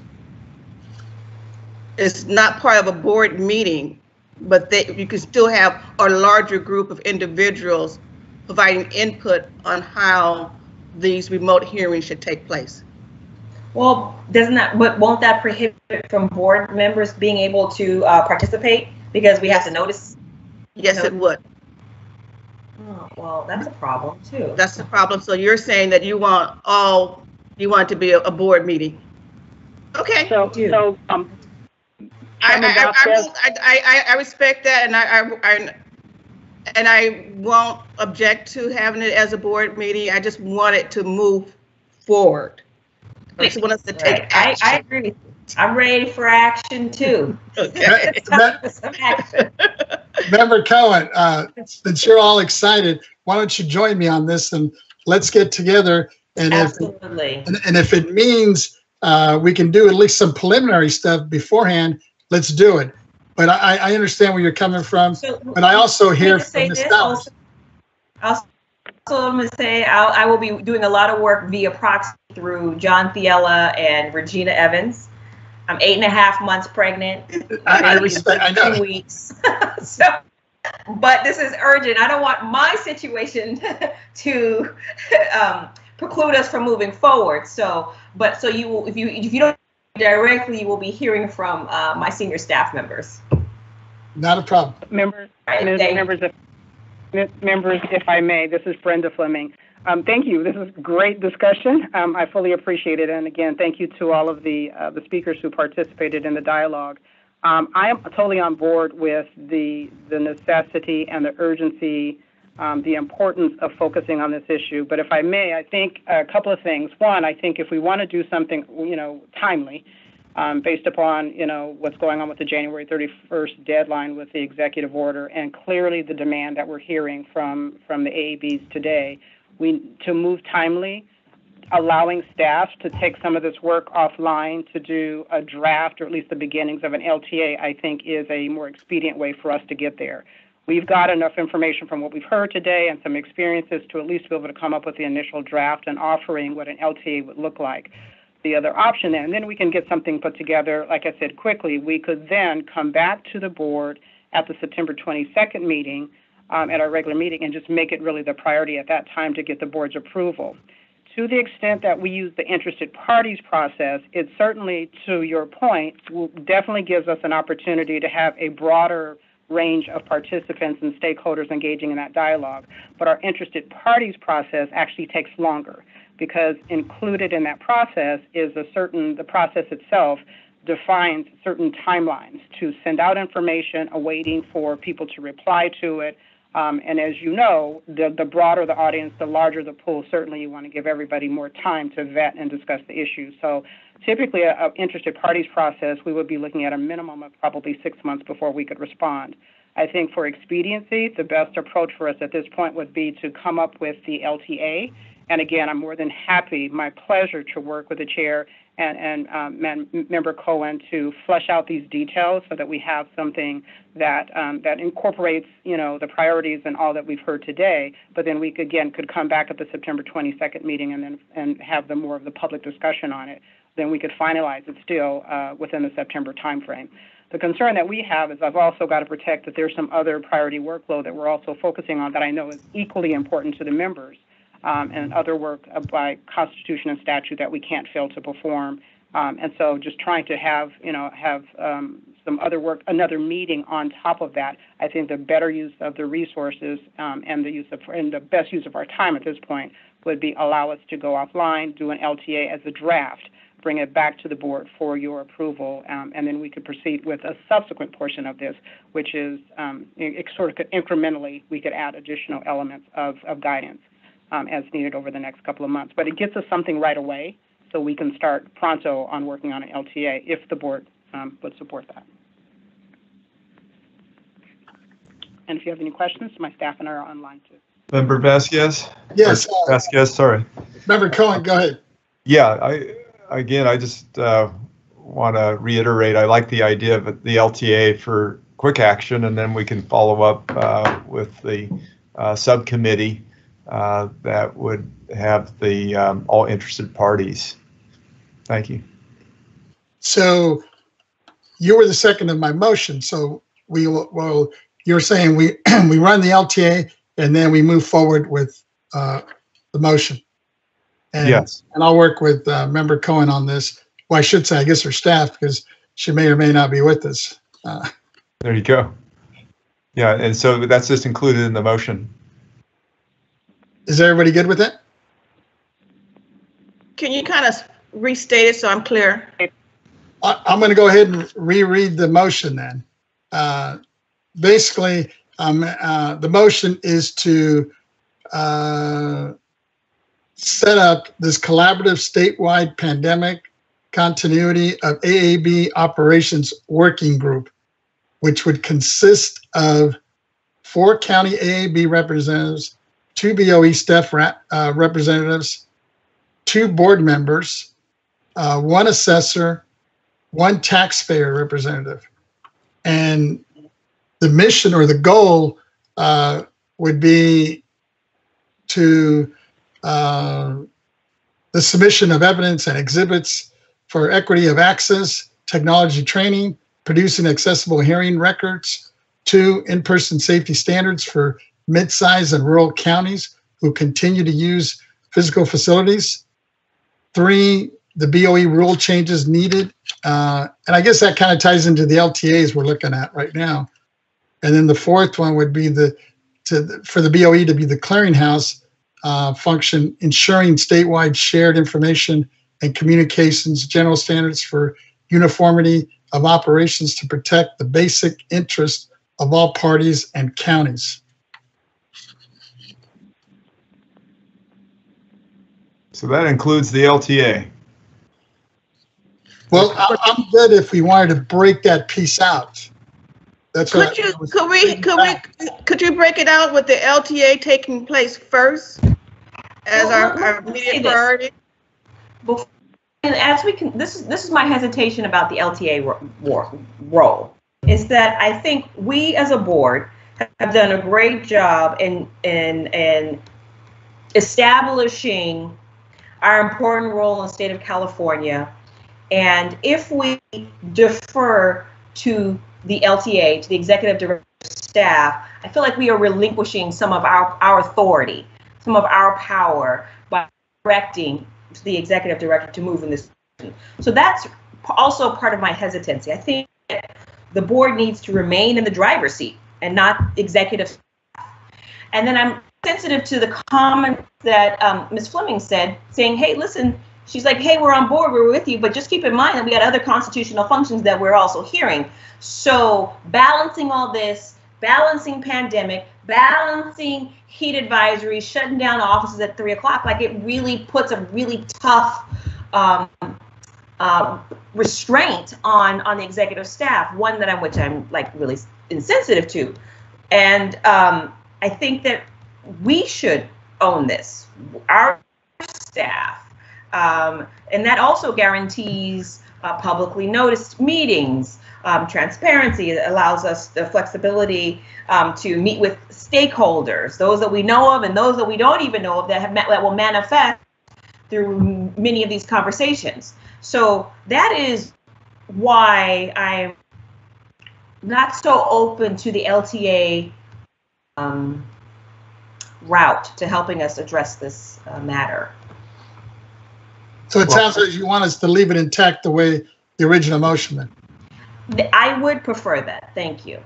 I, okay, I think you're going to run into a problem though, because you're going to have a lack of clarity on what the counties can do while you're crafting uh, the solution uh, through regs. And so if that takes six months, um, what is the, where, where is the clarity uh, being provided to the 58 counties in terms of what they can or cannot do in, in, re, in relation to remote and virtual meetings? So I'm not really recommending um, uh, refs. I um, I I know that we'll get there. Uh, you know, I don't. I, you know, I guess I don't have a real strong answer, Mr. Gaines. I- Members, may offer this? Um, I absolutely hear what you're saying. I think ultimately, though, the guidance is still going to come in the form of an LTA. I think what we're vetting is really what's the approach to get there. Because even if working through the, the work group, which I, I understand, the, absolutely understand the benefits of the work group, but ultimately the guidance comes in the form of an LTA unless you're coming back to say then it's going to be through regulation or through statute, et cetera, which is a longer process. So my reasoning for the LTA was to get something out there because I think from the discussion I'm hearing, there's there's some urgent need to get something there and perhaps what the discussion is is you know how how broad scoped or how you know what's the level of detail and what's the level of guidance that we would provide in the LTA. But even if we go with the work group, the guidance comes back either in the form of an LTA or we're moving forward with regulations, which again, uh, or statute, which definitely is a longer process. Thank you for that clarification. You've actually helped clar- clarify my thoughts a little bit, Ms. Fleming. So, colleagues, what I'm rec- recommending, I am recommending an LTA. I'm, I, I, we're not abandoning that. I do recommend an LTA.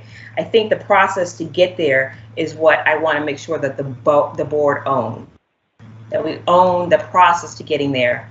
Um, and and once we identify the issues, we will direct the executive director um, to issue an LTA. Exactly. Correct. Okay. So I guess All the question is, do we do that at the September meeting, the regularly scheduled September meeting, or when would you be thinking that this work group would be established? Well, I was kind of thinking, one, if, if people are comfortable with the original motion, let's move it forward. Uh, I will sit with uh, Member Cohen and staff, and let's see how quick we can move this. Yeah, Chair Vazquez, I'm comfortable with that. You good with That's that? fine. I think we've had enough discussion on this that there's enough clarity. Thank you. Okay, else I. I, I actually agree with that too. Um, so here's here's here's a preview. There may be a special meeting coming in near future. There Yeah, may be, Vice Chair Schaefer, I, I go along with the other. I don't want to have too many cooks boiling the soup. I think we've uh, hit the nails on the head and we're going someplace. okay, Ms. Gill, can we go ahead and maybe take a vote on this motion then, I guess? And may I, if I may, members, just one final comment, that I definitely will need to work with you as to the timing of that, because if you're talking about a, a special meeting before the September 22nd, 23rd meeting, um, in, in, in the next couple of weeks, then we almost are looking at um, having a public agenda noticed by Friday of this week. Um, and then I can check offline with, uh, with some of the other details that we'll need to cover to make that happen. So Sure. Just want to make sure you have the benefit of the full information to make that decision and, and, and, con- and, and including also the impact. Not a problem. We'll do that. Okay, thank you. Ms. Davis? Yes, sir. Would you like for me to call the roll? Please. Chairman Vazquez, Yes. Vice Chair Schaefer, Yes. Member Gaines, Aye. Member Cohen, Aye. Deputy Controller Stowers,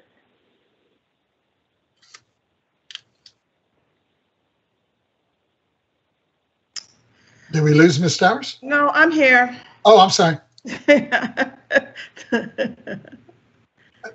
It's okay. Working group to flush, to further flush out the issue. The end result is an LTA.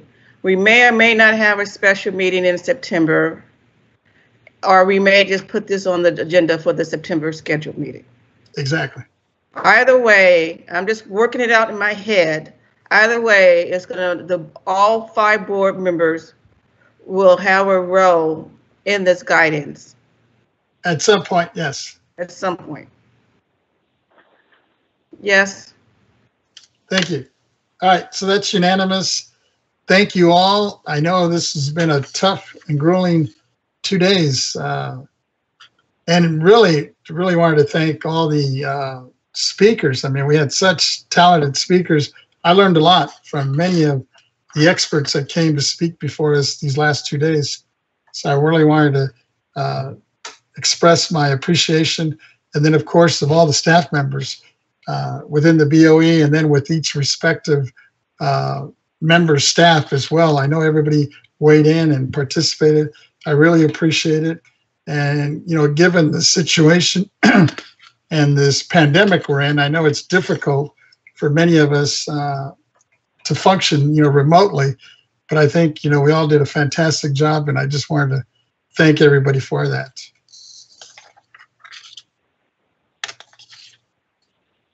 Ms. Davis, unless, is there any other comments from any of the members? Vice Chair Schaefer, I just uh, wanted, we're going to close the meeting. I just want to commemorate uh, former President Bill Clinton's 74th birthday today. And 177 years ago on this date, uh, gold was discovered in California. Thank you. Thank you.